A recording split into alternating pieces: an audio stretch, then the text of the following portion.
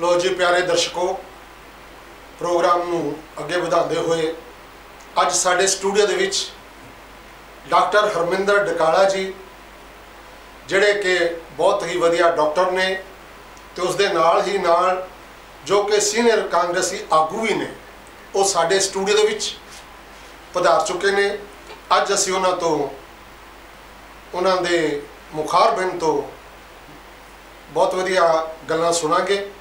ਮੇਰੀ ਮੁਰਾਦ ਡਾਕਟਰ ਹਰਮਿੰਦਰ ਡਕਾਲਾ ਜੀ। ਧੰਨਵਾਦ ਜੀ। ਸਭ ਤੋਂ ਪਹਿਲਾਂ ਰੋਪੜ ਟੀਵੀ ਵਨ ਦਾ ਮੈਂ ਬਹੁਤ-ਬਹੁਤ ਸ਼ੁਕਰੀਆ ਦਾ ਅਦਾ ਕਰਦਾ ਕਿ ਤੁਸੀਂ ਮੈਨੂੰ ਅੱਜ ਟਾਈਮ ਦਿੱਤਾ। ਸੋ ਅੱਜ ਜੋ ਸਮਾਂ ਚੱਲ ਰਿਹਾ ਹੈ ਪੰਜਾਬ ਦੇ ਅੰਦਰ ਪੂਰੇ ਵਿਸ਼ਵ ਦੇ ਅੰਦਰ ਉਹ ਸਮਾਂ ਜਿਹੜਾ ਹੈ ਬੜਾ ਖਤਰਨਾਕ ਸਮਾਂ ਚੱਲ ਰਿਹਾ ਹੈ। ਹਾਂਜੀ ਡਾਕਟਰ ਸਾਹਿਬ ਤੁਹਾਡੇ ਸਮੇਂ ਤੋਂ ਮੈਨੂੰ ਯਾਦ ਆਇਆ। ਸਾਰੇ ਸੰਸਾਰ ਦੇ ਵਿੱਚ ਖਤਰਨਾਕ ਸਮਾਂ ਚੱਲ ਰਿਹਾ ਬਿਲਕੁਲ। ਪਰ ਸਾਡੇ ਪੰਜਾਬ ਦੇ ਵਿੱਚ ਇੱਕ ਆਹ ਵਿਸਫੋਟਕ ਹੋ ਗਿਆ ਬੜਾ ਤਕੜਾ। ਤੁਹਾਨੂੰ ਪਤਾ ਹੀ ਹੈ ਅਸੀਂ ਖਬਰਾਂ ਵੀ ਪੜ੍ਹਦੇ ਹਾਂ। ਇਹਦੇ। ਬਾਰੇ ਤੁਹਾਡੇ ਕੀ ਵਿਚਾਰ? ਮੇਰਾ ਕਹਿਣਾ ਇਹ ਹੈ ਕਿ ਜਿਵੇਂ ਜਦੋਂ ਇੱਥੇ ਕਰੋਨਾ ਦੀ ਬਿਮਾਰੀ ਹਿੰਦੁਸਤਾਨ ਦੇ ਵਿੱਚ ਆਈ ਉਹ ਤੋਂ ਬਾਅਦ ਹਿੰਦੁਸਤਾਨ ਦੀ ਸਰਕਾਰ ਨੇ ਲਾਕਡਾਊਨ ਕੀਤਾ ਪੰਜਾਬ ਸਰਕਾਰ ਨੇ ਕਰਫਿਊ ਲਾਇਆ ਇੱਥੇ ਪੰਜਾਬ ਦੇ ਅੰਦਰ। ਬਹੁਤ ਵਧੀਆ ਤਰੀਕੇ ਦੇ ਨਾਲ ਇਹ ਸਾਰੇ ਸਿਸਟਮ ਨੂੰ ਕੰਟਰੋਲ ਕਰ ਲਿਆ ਗਿਆ ਸੀਗਾ। ਪਰ ਅਚਾਨਕ ਉਹ ਤੋਂ ਬਾਅਦ ਜਿਹੜਾ ਮੁਸਲਮਾਨ ਵੀਰਾਂ ਦੀ ਜਿਹੜੀ ਜਮਾਤ ਸੀਗੀ ਉਹਦੇ ਚ ਜਮਾਤੀਆਂ ਦੇ ਇੱਕਦਮ ਆਉਣ ਤੋਂ ਬਾਅਦ ਇੱਕਦਮ ਇਹ ਜਿਹੜੀ ਬਿਮਾਰੀ ਆ ਫੈਲੀ ਹੈ। ਤੇ ਉਹ ਤੋਂ ਬਾਅਦ ਥੋੜਾ ਕੰਟਰੋਲ ਹੋਇਆ ਤੇ ਇੱਧਰ ਸਾਡੇ ਪੰਜਾਬ ਦੇ ਅੰਦਰ ਸਾਡੇ ਜਿਹੜੇ ਪੰਜਾਬੀ ਵੀਰ ਬਾਹਰ ਯਾਤਰਾ ਤੇ ਗਏ ਹੋਏ ਸੀਗੇ ਜਿਨ੍ਹਾਂ ਨੂੰ ਆਪਾਂ ਸ਼ਰਧਾਲੂਆਂ ਦੇ ਨਾਂ ਨਾਲ ਅਮ, ਬੁਲਾਉਂਦੇ ਆ ਕਿ ਸ਼ਰਧਾਲੂ। ਜਿਹੜੇ ਹੈਗੇ ਆ ਕਿ ਇਹਨਾਂ ਕਰਕੇ ਬਿਮਾਰੀ ਇੱਕਦਮ ਫੈਲ ਗਈ ਹੈ। ਸੋ ਮੇਰੀ ਇਹ ਬੇਨਤੀ ਹੈ ਕਿ ਬਿਮਾਰੀ ਜ਼ਰੂਰ ਫੈਲੀ ਹੈ ਪਰ ਇਹਨਾਂ ਚੀਜ਼ਾਂ ਨੂੰ ਕਿਸੇ ਆਪਾਂ ਧਰਮ ਨਾਲ ਜੋੜ ਕੇ ਨਾ ਦੇਖੀਏ। ਆਪਣੀ ਸਮਾਜ ਦਾ ਹਿੱਸਾ ਨੇ ਆਪਣੇ ਹੀ ਭਰਾ ਨੇ ਭਾਵੇਂ ਹਿੰਦੂ ਮੁਸਲਮਾਨ ਸਿੱਖ ਕੋਈ ਵੀ ਹੋਵੇ। ਉਹ ਅਜੋਕਾ ਸਮਾਂ ਜਿਹੜਾ ਹੈ ਨਾ ਜੀ ਇਹ ਆਪਾਂ ਨੂੰ ਮਿਲ ਕੇ ਇਸ ਲੜਾਈ ਨੂੰ ਲੜਨ ਦਾ ਸਮਾਂ ਹੈਗਾ। ਬਜਾਏ ਕਿ ਆਪਾਂ ਇਹਨਾਂ ਨੂੰ ਧਰਮ ਦੇ ਨਾਲ ਜੋੜ ਕੇ ਦੇਖੀਏ। ਬਿਲਕੁਲ ਠੀਕ ਹੈ ਤੇ ਦੂਸਰੀ ਗੱਲ ਇਹ ਹੈਗੀ ਹੈ ਕਿ ਇਹਨਾਂ ਲੋਕਾਂ ਨੂੰ ਸਮਾਜ ਦੇ ਲੋਕਾਂ ਨੂੰ ਅਵੇਅਰ ਕਰਨ ਦੀ ਜ਼ਰੂਰਤ ਹੈ ਕਿ ਜਿਵੇਂ ਸਰਕਾਰਾਂ ਕਹਿੰਦੀਆਂ ਹੈਲਥ ਡਿਪਾਰਟਮੈਂਟ ਕਹਿੰਦਾ ਹੈ ਕਿ ਆਪਣਾ ਜਿਹੜਾ ਡਿਸਟੈਂਸ ਮੇਨਟੇਨ ਕਰਕੇ ਰੱਖੋ। ਇੱਕ ਦੂਜੇ ਤੋਂ ਥੋੜਾ ਦੂਰੀ ਬਣਾ ਕੇ ਰੱਖੋ ਜੀ। ਸਮੇਂ-ਸਮੇਂ ਤੇ ਹੱਥ ਧੋਂਦੇ ਰਹੋ ਜੀ। ਸੈਨੀਟਾਈਜ਼ ਕਰਦੇ ਰਹੋ ਜੀ। ਬਾਹਰ ਨਾ ਨਿਕਲੋ ਕਰਫਿਊ ਲੱਗਿਆ ਹੋਇਆ ਉਹਦੇ ਬਾਵਜੂਦ ਵੀ ਲੋਕ ਘਰ ਬੈਠਣ ਨੂੰ ਤਿਆਰ ਨਹੀਂ ਪੁਲਿਸ ਵੀ ਬੜੀ ਮਿਹਨਤ ਕਰ ਰਹੀ ਹੈ ਹੈਲਥ ਵਿਭਾਗ ਬੜੀ ਮਿਹਨਤ ਕਰ ਰਿਹਾ ਹੈ ਸਾਰੇ ਡਿਪਾਰਟਮੈਂਟ ਲੱਗੇ ਹੋਏ ਨੇ ਸਰਕਾਰ ਦੇ ਜਿੱਥੇ ਜਿੱਥੇ ਵੀ ਬੱਸ ਚੱਲਦਾ ਪਰ ਅਫਸੋਸ ਦੀ ਗੱਲ ਇਹ ਹੈ ਕਿ ਭਾਵੇਂ ਉਹ ਕੋਈ ਵੀ ਪਾਰਟੀ ਹੋਵੇ ਮੈਂ ਇਹ ਨਹੀਂ ਕਹਿੰਦਾ ਕਿ ਮੈਂ ਕਾਂਗਰਸ ਪਾਰਟੀ ਨਾਲ ਸੰਬੰਧ ਰੱਖਦਾ ਜੀ ਕਿ ਰਾਜਨੀਤਿਕ ਪਾਰਟੀਆਂ ਨੂੰ ਮੇਰੀ ਹੱਥ ਜੋੜ ਕੇ ਬੇਨਤੀ ਹੈ ਰਾਜਨੀਤਿਕ ਪਾਰਟੀ ਦੇ ਨੁਮਾਇੰਦਿਆਂ ਨੂੰ ਮੇਰੀ ਹੱਥ ਜੋੜ ਕੇ ਬੇਨਤੀ ਹੈ ਜੀ। ਕਿ ਆਪਾਂ ਮਿਲ ਕੇ ਇਸ ਲੜਾਈ ਨੂੰ ਲੜਨਾ ਨਾ ਕਿ ਆਪਾਂ ਇਹ ਸੋਚੀਏ ਕਿ ਕਿਹੜੀ ਪਾਰਟੀ ਕਿਸ ਕਿਸ ਧਰਮ ਨੂੰ ਬਿਲੋਂਗ ਕਰਦੀ ਹੈ ਕਿਹੜੀ ਪਾਰਟੀ ਕਿਸ ਧਰਮ ਦੇ ਖਿਲਾਫ ਬੋਲਦੀ ਹੈ। ਇਹ ਸਮਾਂ ਜਿਹੜਾ ਹੈਗਾ ਜੀ ਬੜਾ ਮਾੜਾ ਸਮਾਂ ਚੱਲ ਰਿਹਾ ਸਾਨੂੰ ਸਾਰਿਆਂ ਨੂੰ ਮਿਲ ਕੇ। ਜਿਹੜੇ ਵੀ ਇਹ ਮੇਰੇ ਵੀਰ ਅੱਜ ਯਾਤਰਾ ਕਰਕੇ ਆਏ ਨੇ ਇਹਨਾਂ ਨੂੰ ਸੰਭਾਲਣ ਦਾ ਸਮਾਂ ਹੈ। ਆਪਾਂ ਇਹਨਾਂ ਨੂੰ ਸੰਭਾਲ ਕੇ ਇਹਨਾਂ ਦਾ ਇਲਾਜ ਕਰੀਏ। ਤੇ ਦੂਜੀ ਗੱਲ ਜੀ ਮੈਂ ਇਹ ਹੋਰ ਕਹਿਣੀ ਚਾਹਨਾ ਕਿ ਲੋਕਾਂ ਨੂੰ ਅਵੇਅਰ ਕਰਨ ਦੀ ਜ਼ਰੂਰਤ ਹੈ ਕਿ ਸਰਕਾਰ ਜੇ ਇਹਨਾਂ ਨੂੰ ਲੈ ਕੇ ਜਾਂਦੀ ਆ ਕੋਈ ਮਾਰਨ ਵਾਸਤੇ ਨਹੀਂ ਲੈ ਕੇ ਜਾਂਦੀ ਉਹ ਸਰਕਾਰ ਨੇ ਇਹਨਾਂ ਨੂੰ ਵਧੀਆ ਜਗ੍ਹਾ ਕਿਤੇ ਨਾ ਕਿਤੇ ਹਸਪੀਟਲ 'ਚ ਰੱਖਣਾ ਜਿੱਥੇ ਇਹਨਾਂ ਦਾ ਇਲਾਜ ਹੋ ਸਕੇ। ਆਪਾਂ ਪ੍ਰਮਾਤਮਾ ਕੋਲ ਅਰਦਾਸ ਕਰੀਏ ਕਿ ਜਿਹੜੇ ਵੀਰ ਸਾਡੇ ਪੋਜ਼ਿਟਿਵ ਆਏ ਨੇ ਉਹਨਾਂ ਨੂੰ ਸੰਭਾਲ ਕੇ ਆਪਾਂ ਉਹਨਾਂ ਦਾ ਸਹੀ ਢੰਗ ਨਾਲ ਇਲਾਜ ਕਰਕੇ ਉਹਨਾਂ ਨੂੰ ਨੈਗੇਟਿਵ ਕਰਕੇ ਉਹਨਾਂ ਦੇ ਘਰੇ ਭੇਜੀਏ। ਡਾਕਟਰ ਸਾਹਿਬ ਇਹ ਤਾਂ ਤੁਹਾਡੀ ਗੱਲ ਬਹੁਤ ਵਧੀਆ ਪਰ ਇੱਕ ਗੱਲ ਤੁਹਾਡਾ ਪ੍ਰਸ਼ਾਸਨ ਬਾਰੇ ਕੀ ਵਿਚਾਰ ਹੈ? ਦੇਖੋ ਜੀ ਪ੍ਰਸ਼ਾਸਨ ਦੇ ਵਿੱਚ ਜਿਹੜੇ ਦੋ ਤਿੰਨ ਮਹਿਕਮੇ ਨੇ ਜਿਵੇਂ ਹੈਲਥ ਵਿਭਾਗ ਹੈਗਾ ਪੰਜਾਬ ਪੁਲਿਸ ਹੈਗੀ ਹੈ। ਇਹਨਾਂ ਨੇ ਤਾਂ ਇਹਨਾਂ ਦੇ ਬਾਰੇ ਤਾਂ ਜਿੰਨੇ ਵੀ ਵਧੀਆ ਤੋਂ ਵਧੀਆ ਸ਼ਬਦ ਜਿਹੜੇ ਉਹ ਥੋੜੇ ਪੈ ਸਕਦੇ ਆ। ਕਿਉਂਕਿ ਇਹਨਾਂ ਨੇ ਜਦੋਂ ਤੋਂ ਇਹ ਕਰੋਨਾ ਬਿਮਾਰੀ ਪੰਜਾਬ ਦੇ ਵਿੱਚ ਕਿਉਂਕਿ ਪੂਰੇ ਹਿੰਦੁਸਤਾਨ ਚ ਆਈ ਹੈ ਦੋ ਤਿੰਨ ਡਿਪਾਰਟਮੈਂਟਾਂ ਨੇ ਆਪਣੀ ਬਾਹ ਜਹਾਨ ਲਾਈ ਹੋਈ ਹੈ ਤੇ ਅਸੀਂ ਸਲੂਟ ਕਰਦੇ ਹਾਂ ਇਹਨਾਂ ਲੋਕਾਂ ਨੂੰ। ਪਰੰਤੂ ਮੇਰੀ ਸਰਕਾਰ ਨੂੰ ਪੰਜਾਬ ਸਰਕਾਰ ਨੂੰ ਇਹ ਅਪੀਲ ਹੈ ਕਿ ਜਿਹੜੇ ਸਿਵਲ ਦੇ ਬਾਕੀ ਦੇ ਮਹਿਕਮੇ ਅੱਜ ਤੱਕ ਦੇਖੋ ਮਾਫ ਕਰਨਾ ਤਨਖਾਹਾਂ ਲੈਣੇ ਆਪਾਂ ਬੜੀਆਂ ਵਧੀਆ ਵਧੀਆ ਇਹਨਾਂ ਦੀਆਂ ਤਨਖਾਹਾਂ ਨੇ ਤਗੜੀਆਂ ਤਨਖਾਹਾਂ ਜੀ। ਚੰਗੀਆਂ ਤਨਖਾਹਾਂ ਇਹਨਾਂ ਦੀਆਂ ਜੀ, ਤੇ ਜੀ। ਆਪ 2 ਮਹੀਨਿਆਂ ਤੋਂ ਆਪਦੇ ਘਰੇ ਬੈਠੇ। ਤਨਖਾਹਾਂ ਇਹਨਾਂ ਦੀਆਂ ਮਿਲ ਰਹੀਆਂ ਸਾਰਾ ਕੁਝ ਇਹਨਾਂ ਨੂੰ ਮਿਲ ਰਿਹਾ ਜੀ। ਸੋ ਮੇਰੀ ਬੇਨਤੀ ਹੈ ਕਿ ਬਹੁਤ ਸਾਰੇ ਕੰਮ ਇਸ ਤਰ੍ਹਾਂ ਦੇ ਆ ਜਿਹੜੇ ਪੰਜਾਬ ਪੁਲਿਸ ਦੇ ਕੰਮ ਨਹੀਂ ਹੈਗੇ ਉਹਨਾਂ ਵੀਰਾਂ ਨੂੰ ਭਰਾਵਾਂ ਨੂੰ ਅੱਜ 10-10 ਦਿਨ ਹੋ ਗਏ ਆਪਦੇ ਘਰੇ ਨਹੀਂ ਗਏ ਹਾਂ ਮਸਲੇ ਨੂੰ ਕਹੇ ਜੇ ਕੰਮ ਤੁਸੀਂ ਬਿਲਕੁਲ ਬਿਲਕੁਲ ਜਿਹੜੇ ਕੰਮ ਇਹਨਾਂ ਨਾਲ ਸੰਬੰਧਿਤ ਜਿਵੇਂ ਹੁਣ ਪਸ਼ੂ ਪਾਲਣ ਵਿਭਾਗ ਹੈ ਜੀ। ਆਪਾਂ ਨੇ ਘਰਾਂ 'ਚ ਬਿਠਾਏ ਹੋਏ ਆ ਉਹ ਉਹਨਾਂ ਦੀਆਂ ਤਨਖਾਹਾਂ ਵੀ ਜਾਰੀਆਂ ਉਹਨਾਂ ਨੂੰ ਸਹੂਲਤਾਂ ਵੀ ਮਿਲਦੀਆਂ ਸੋ ਉਹਨਾਂ ਨੂੰ ਜਿ- ਜਿਵੇਂ ਮੈਂ ਅਸੀਂ ਆਪਾਂ ਟੀਵੀ 'ਚ ਦੇਖਦੇ ਆ ਤੁਹਾਡਾ ਮੀਡੀਆ ਦਿਖਾ ਰਿਹਾ ਕਿ ਜੀ ਪਸ਼ੂਆਂ ਨੂੰ ਸੰਭਾਲ ਰਹੀ ਹੈ ਪੰਜਾਬ ਪੁਲਿਸ ਅਵਾਰਾ ਪਸ਼ੂਆਂ ਨੂੰ ਸੰਭਾਲ ਰਹੀ ਹੈ ਉਹ ਕਿਤੇ ਕੇਲੇ ਖਿਲਾ ਰਹੇ। ਬਾਂਦਰਾਂ ਨੂੰ ਕੇਲੇ ਖਿਲਾ ਰਹੇ ਦੇਖੋ। ਪੰਜਾਬ ਪੁਲਿਸ ਦਾ ਕੰਮ ਨਹੀਂ ਹੈਗਾ ਇਹਨਾਂ ਮਹਿਕਮਿਆਂ ਨੂੰ ਤੁਸੀਂ ਕਹੋ ਕਿ ਤੁਸੀਂ ਜੀ ਮਾਸਕ ਲਓ ਤੁਸੀਂ ਆਪਣੇ ਗਲਵਜ਼ ਪਾਓ ਸੈਨੀਟਾਈਜ਼ਰ ਕੋਲ ਰੱਖੋ। ਤੇ ਤੁਸੀਂ ਪੰਜਾਬ ਦੇ ਵਿੱਚ ਜਿਹੜੇ ਪਸ਼ੂ ਐਦਾਂ ਅਵਾਰਾ ਘੁੰਮਦੇ ਉਹਨਾਂ ਨੂੰ ਤੁਸੀਂ ਸੰਭਾਲਣਾ ਜਿਹੜੇ ਜੰਗਲੀ ਜਾਨਵਰ ਵਾਲਾ ਘੁੰਮਦੇ ਆ ਉਹਨਾਂ ਨੂੰ ਤੁਸੀਂ ਸੰਭਾਲਣਾ। ਬਿਲਕੁਲ। ਐਸੇ ਐਸੇ ਤਰ੍ਹਾਂ ਐਸੇ ਤਰ੍ਹਾਂ ਜਿਹੜੇ ਬਾਕੀ ਦੇ ਮਹਿਕਮੇ ਜਿਵੇਂ ਹੁਣ ਫੂਡ ਸਪਲਾਈ ਹੈ ਦੇਖੋ ਖਾਣਾ ਵੰਡਣਾ ਪੰਜਾਬ ਪੁਲਿਸ ਦਾ ਕੰਮ ਨਹੀਂ ਹੈਗਾ। ਨਹੀਂ ਹੈ। ਤੁਸੀਂ ਫੂਡ ਸਪਲਾਈ ਵਿਭਾਗ ਨੂੰ ਤਨਖਾਹ ਦਿੰਦੇ ਹੋ ਸਾਰਾ ਕੁਝ ਦਿੰਦੇ ਹੋ ਉਹਨਾਂ ਦਾ ਧਿਆਨ ਰੱਖੋ ਜ਼ਰੂਰ। ਉਹਨਾਂ ਨੂੰ ਕਹੋ ਆਪਣੀ ਸਿਹਤ ਦਾ ਧਿਆਨ ਰੱਖ ਦਿਓ ਪੁਲਿਸ ਵੀ ਤਾਂ ਕੰਮ ਕਰ ਰਹੀ ਹੈ ਬਿਲਕੁਲ ਜੀ। ਦੇਖੋ ਗਲਵਜ਼ ਮੈਂ ਬੜਾ ਹੈਰਾਨ ਹੁੰਨਾ ਕਈ ਪੁਲਿਸ ਮੁਲਾਜ਼ਮਾਂ ਕੋਲ ਤਾਂ ਗਲਵਜ਼ ਵੀ ਨਹੀਂ ਹੁੰਦੇ। ਗੁਲਾਬੋ ਲੰਗਰ ਵਾਲੀਆਂ ਬਾਲਟੀਆਂ ਵੀ ਚੱਕੀਆਂ ਮੈਂ ਹੋਈਆਂ ਕਹਿੰਦਾ ਜੀ ਕੜਛੀ ਤੁਸੀਂ ਪਾ ਕੇ ਹਾਂ ਬੜੀ ਲੰਗਰ ਵਰਤਾਉਂਦੇ ਲੋਕਾਂ ਨੇ ਬੜਾ ਇੱਕ ਅਲੱਗ ਰੂਪ ਪੰਜਾਬ ਪੁਲਿਸ ਦਾ ਦੇਖਿਆ। ਬੜੀ ਸ਼ਰਧਾ ਦੇ ਨਾਲ ਬੜੇ ਪਿਆਰ ਦੇ ਨਾਲ ਕਿਤੇ ਫੁੱਲ ਦਿੰਦੇ ਜਿਹੜੇ ਕਰਫਿਊ ਤੋੜਦੇ ਆ ਦੇਖੋ। ਕਿਤੇ ਨਾ ਕਿਤੇ ਸਖਤਾਈ ਵੀ ਕਰਨੀ ਪੈਂਦੀ ਹੈ ਪਰ। ਸਾਡੇ ਲੋਕਾਂ ਦੀ ਜਾਨ ਮਾਲ ਦੀ ਰਾਖੀ ਲਈ ਜਿਹੜੀ ਹੈਗੀ ਉਹ ਕਰਦੇ ਬਿਹਤਰੀ ਲਈ ਸਖਤਾਈ ਕਰਦੇ ਬਿਹਤਰੀ ਲਈ ਸਖਤਾਈ ਕਰਦੇ ਆ ਪਰ ਮੇ- ਮੇਰਾ ਮੇਰੀ ਇਹ ਬੇਨਤੀ ਹੈ ਪੰਜਾਬ ਸਰਕਾਰ ਨੂੰ ਕਿ ਇਹ ਜਿਹੜੇ ਸਿਵਲ ਦੇ ਮਹਿਕਮੇ ਆ ਨਾ ਕੋਈ- supply ਵਾਲੇ ਤੁਸੀਂ ਗੱਲ food ਕਰ ਰਹੇ ਸੀ। supply ਦੀ ਫੂਡ ਸਪਲਾਈ ਨੂੰ ਲਾਓ ਇਹਨਾਂ ਨੂੰ ਜਿਹੜਾ ਖਾਣਾ ਵੰਡਦੇ ਆ ਨਾ ਜੀ। ਇਹ ਪੰਜਾਬ ਪੁਲਿਸ ਦਾ ਕੰਮ ਨਹੀਂ ਹੈਗਾ ਇਹ ਜਿਹੜਾ ਫੂਡ ਸਪਲਾਈ ਦਾ ਕੰਮ ਹੈਗਾ ਨਾ ਜੀ ਇਹ ਸਾਰਾ ਕੰਮ ਜਿਹੜਾ ਇਹ ਫੂਡ ਸਪਲਾਈ ਵਿਭਾਗ ਨੂੰ ਦਿੱਤਾ ਜਾਵੇ ਤੇ ਹੈਲਥ ਡਿਪਾਰਟਮੈਂਟ ਦੇ ਵੀ ਵਿੱਚ ਵੀ ਦੇਖੋ ਇੱਕ ਕੱਲਾ ਵਿਭਾਗ ਐਡੀ ਬੜੀ ਮਹਾਮਾਰੀ ਨੂੰ ਕੰਟਰੋਲ ਕਰ ਰਿਹਾ ਹੈ ਉਹਨਾਂ ਨੂੰ ਵੀ ਸਹੂਲਤਾਂ ਦੇਣ ਵਾਸਤੇ ਕਿਸੇ ਇੱਕ ਦੋ ਮਹਿਕਮੇ ਨੂੰ ਇਹਨਾਂ ਦੇ ਨਾਲ ਅਟੈਚ ਕੀਤਾ ਜਾਵੇ ਥੋੜਾ ਥੋੜਾ ਕਰਕੇ ਤਾਂ ਕਿ। ਉਹਨਾਂ ਨੂੰ ਵੀ ਥੋੜਾ ਸੁੱਖ ਦਾ ਸਾਹ ਮਿਲੇ। ਭਾਵੇਂ ਕੋਈ ਟਰਾਂਸਪੋਰਟ ਦਾ ਮਹਿਕਮਾ ਹੈ ਕੋਈ ਵੀ ਮਹਿਕਮਾ ਜਿਹੜਾ ਇਹਨਾਂ ਨੂੰ ਲੈ ਕੇ ਜਾਣ ਚ ਲੈ ਕੇ ਡਿਊਟੀ ਤੇ ਵਾਪਸ ਲੈ ਕੇ ਆਉਣ ਦੇ ਵਿੱਚ। ਮਤਲਬ ਇਹਨਾਂ ਨੂੰ ਕਿਸੇ ਨਾ ਕਿਸੇ ਤਰੀਕੇ ਨਾਲ ਸਪੋਰਟ ਦਿੱਤੀ ਜਾ ਸਕੇ ਉਹ ਕਿੰਨੇ ਹੀ ਮਹਿਕਮੇ ਆ ਦੇਖੋ ਸੈਂਕੜੀ ਸੈਂਕੜੀ ਮਹਿਕਮੇ ਆ ਜਿਨ੍ਹਾਂ ਨੂੰ ਆਪਾਂ ਨੇ ਤਨਖਾਹਾਂ ਵੀ ਦੇਣੀਆਂ ਕਿਉਂਕਿ ਹੁਣ ਦੇਖੋ ਮੁੱਖ ਮੰਤਰੀ ਸਾਹਿਬ ਦਾ ਵੀ ਬਿਆਨ ਹੈ ਕਿ ਪ੍ਰਾਈਵੇਟ ਸੈਕਟਰ ਦੇ ਉੱਪਰ ਕੱਲਾ ਦਬਾਅ ਪੈ ਰਿਹਾ। ਤੁਸੀਂ ਆਪਾਂ ਫੀਸਾਂ ਨਹੀਂ ਲੈਣੀਆਂ ਸਕੂਲਾਂ ਨੂੰ ਕਿਹਾ ਕਿ ਅਸੀਂ ਫੀਸਾਂ ਨਹੀਂ ਲੈਣੀਆਂ। ਜਿਹੜੀਆਂ ਸਕੂਲਾਂ ਦੇ ਵਿੱਚ ਬੱਸਾਂ ਲੱਗੀਆਂ ਹੋਈਆਂ ਉਹਨਾਂ ਨੂੰ ਕਿਹਾ ਤੁਸੀਂ ਕਿਰਾਇਆ ਨਹੀਂ ਲੈਣਾ। ਜਿਹੜਾ ਪ੍ਰਾਈਵੇਟ ਸੈਕਟਰ ਹੈ ਉਹ ਆਪਣੇ ਆਪ ਤੇ ਵਜਨ ਚੱਕਣ ਵਾਸਤੇ ਤਿਆਰ ਖੜਾ ਹੈ ਕਿ ਦੇਖੋ ਮੁਲਕ ਦੇ ਉੱਪਰ ਮੁਲਕ ਨੂੰ ਅੱਜ ਸਾਡੀ ਜ਼ਰੂਰਤ ਹੈ। ਉਹ ਪ੍ਰਾਈਵੇਟ ਸੈਕਟਰ ਉਹ ਵਜਨ ਨੂੰ ਚੱਕਣ ਤਿਆਰ ਤਿਆਰ ਬੈਠਾ ਹੈ ਪਰ ਜਿਹੜੇ ਪੰਜਾਬ ਸਰਕਾਰ ਦੇ ਬਾਕੀ ਦੇ ਐਦਾਂ ਦੇ ਜਿਹੜੇ ਹੈਗੇ ਨੇ ਮਹਿਕਮੇ ਹੈਗੇ ਅਦਾਰੇ ਹੈਗੇ ਆ, ਉਹਨਾਂ ਦਾ ਵੀ ਇੱਕ ਫਰਜ਼ ਬਣਦਾ ਬਹੁਤ ਅਦਾਰੇ ਇਹ ਜਿਹੇ ਜਿਨ੍ਹਾਂ ਨੇ ਇੱਕ ਇੱਕ ਦੋ ਦੋ ਮਹੀਨੇ ਦੀ ਤਨਖਾਹ ਡੋਨੇਟ ਕੀਤੀ ਹੈ ਅਸੀਂ ਸਲੂਟ ਕਰਦੇ ਹਾਂ ਉਹਨਾਂ ਨੂੰ।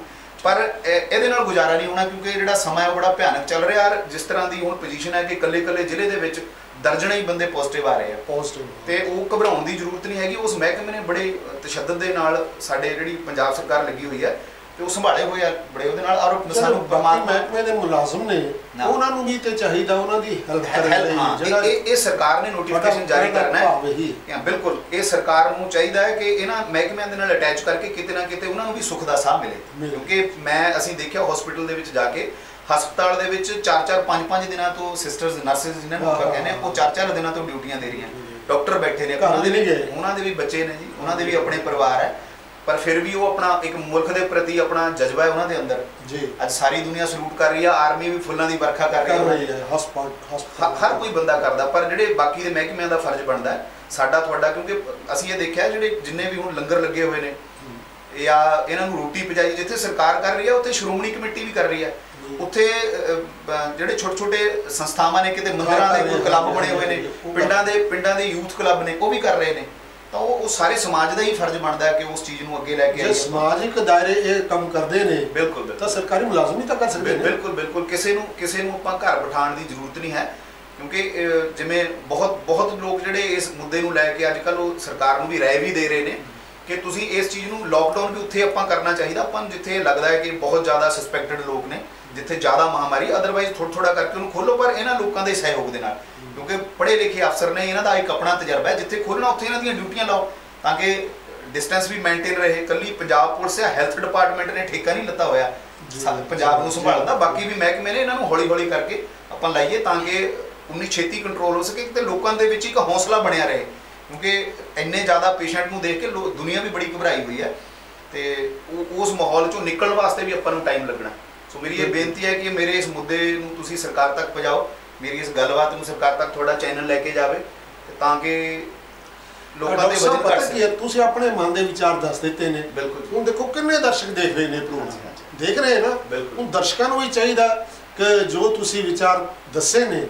ਉਹ ਸਰਕਾਰ ਤੱਕ ਪਹੁੰਚਾਓ ਠੀਕ ਹੈ ਨਾ ਜੀ? ਬਿਲਕੁਲ ਜੀ ਬਿਲਕੁਲ। ਤੇ ਬਾਕੀ ਇੱਕ ਅੱਜ ਕੱਲ ਦੇ ਮਾਹੌਲ ਤੇ ਰਾਜਨੀਤਿਕਾਂ ਦੇ ਵੀ ਤੁਸੀਂ ਵਿਚਾਰ ਪੜ੍ਹਦੇ ਹੋ ਦੇਖਦੇ ਸੁਣਦੇ ਹੋ।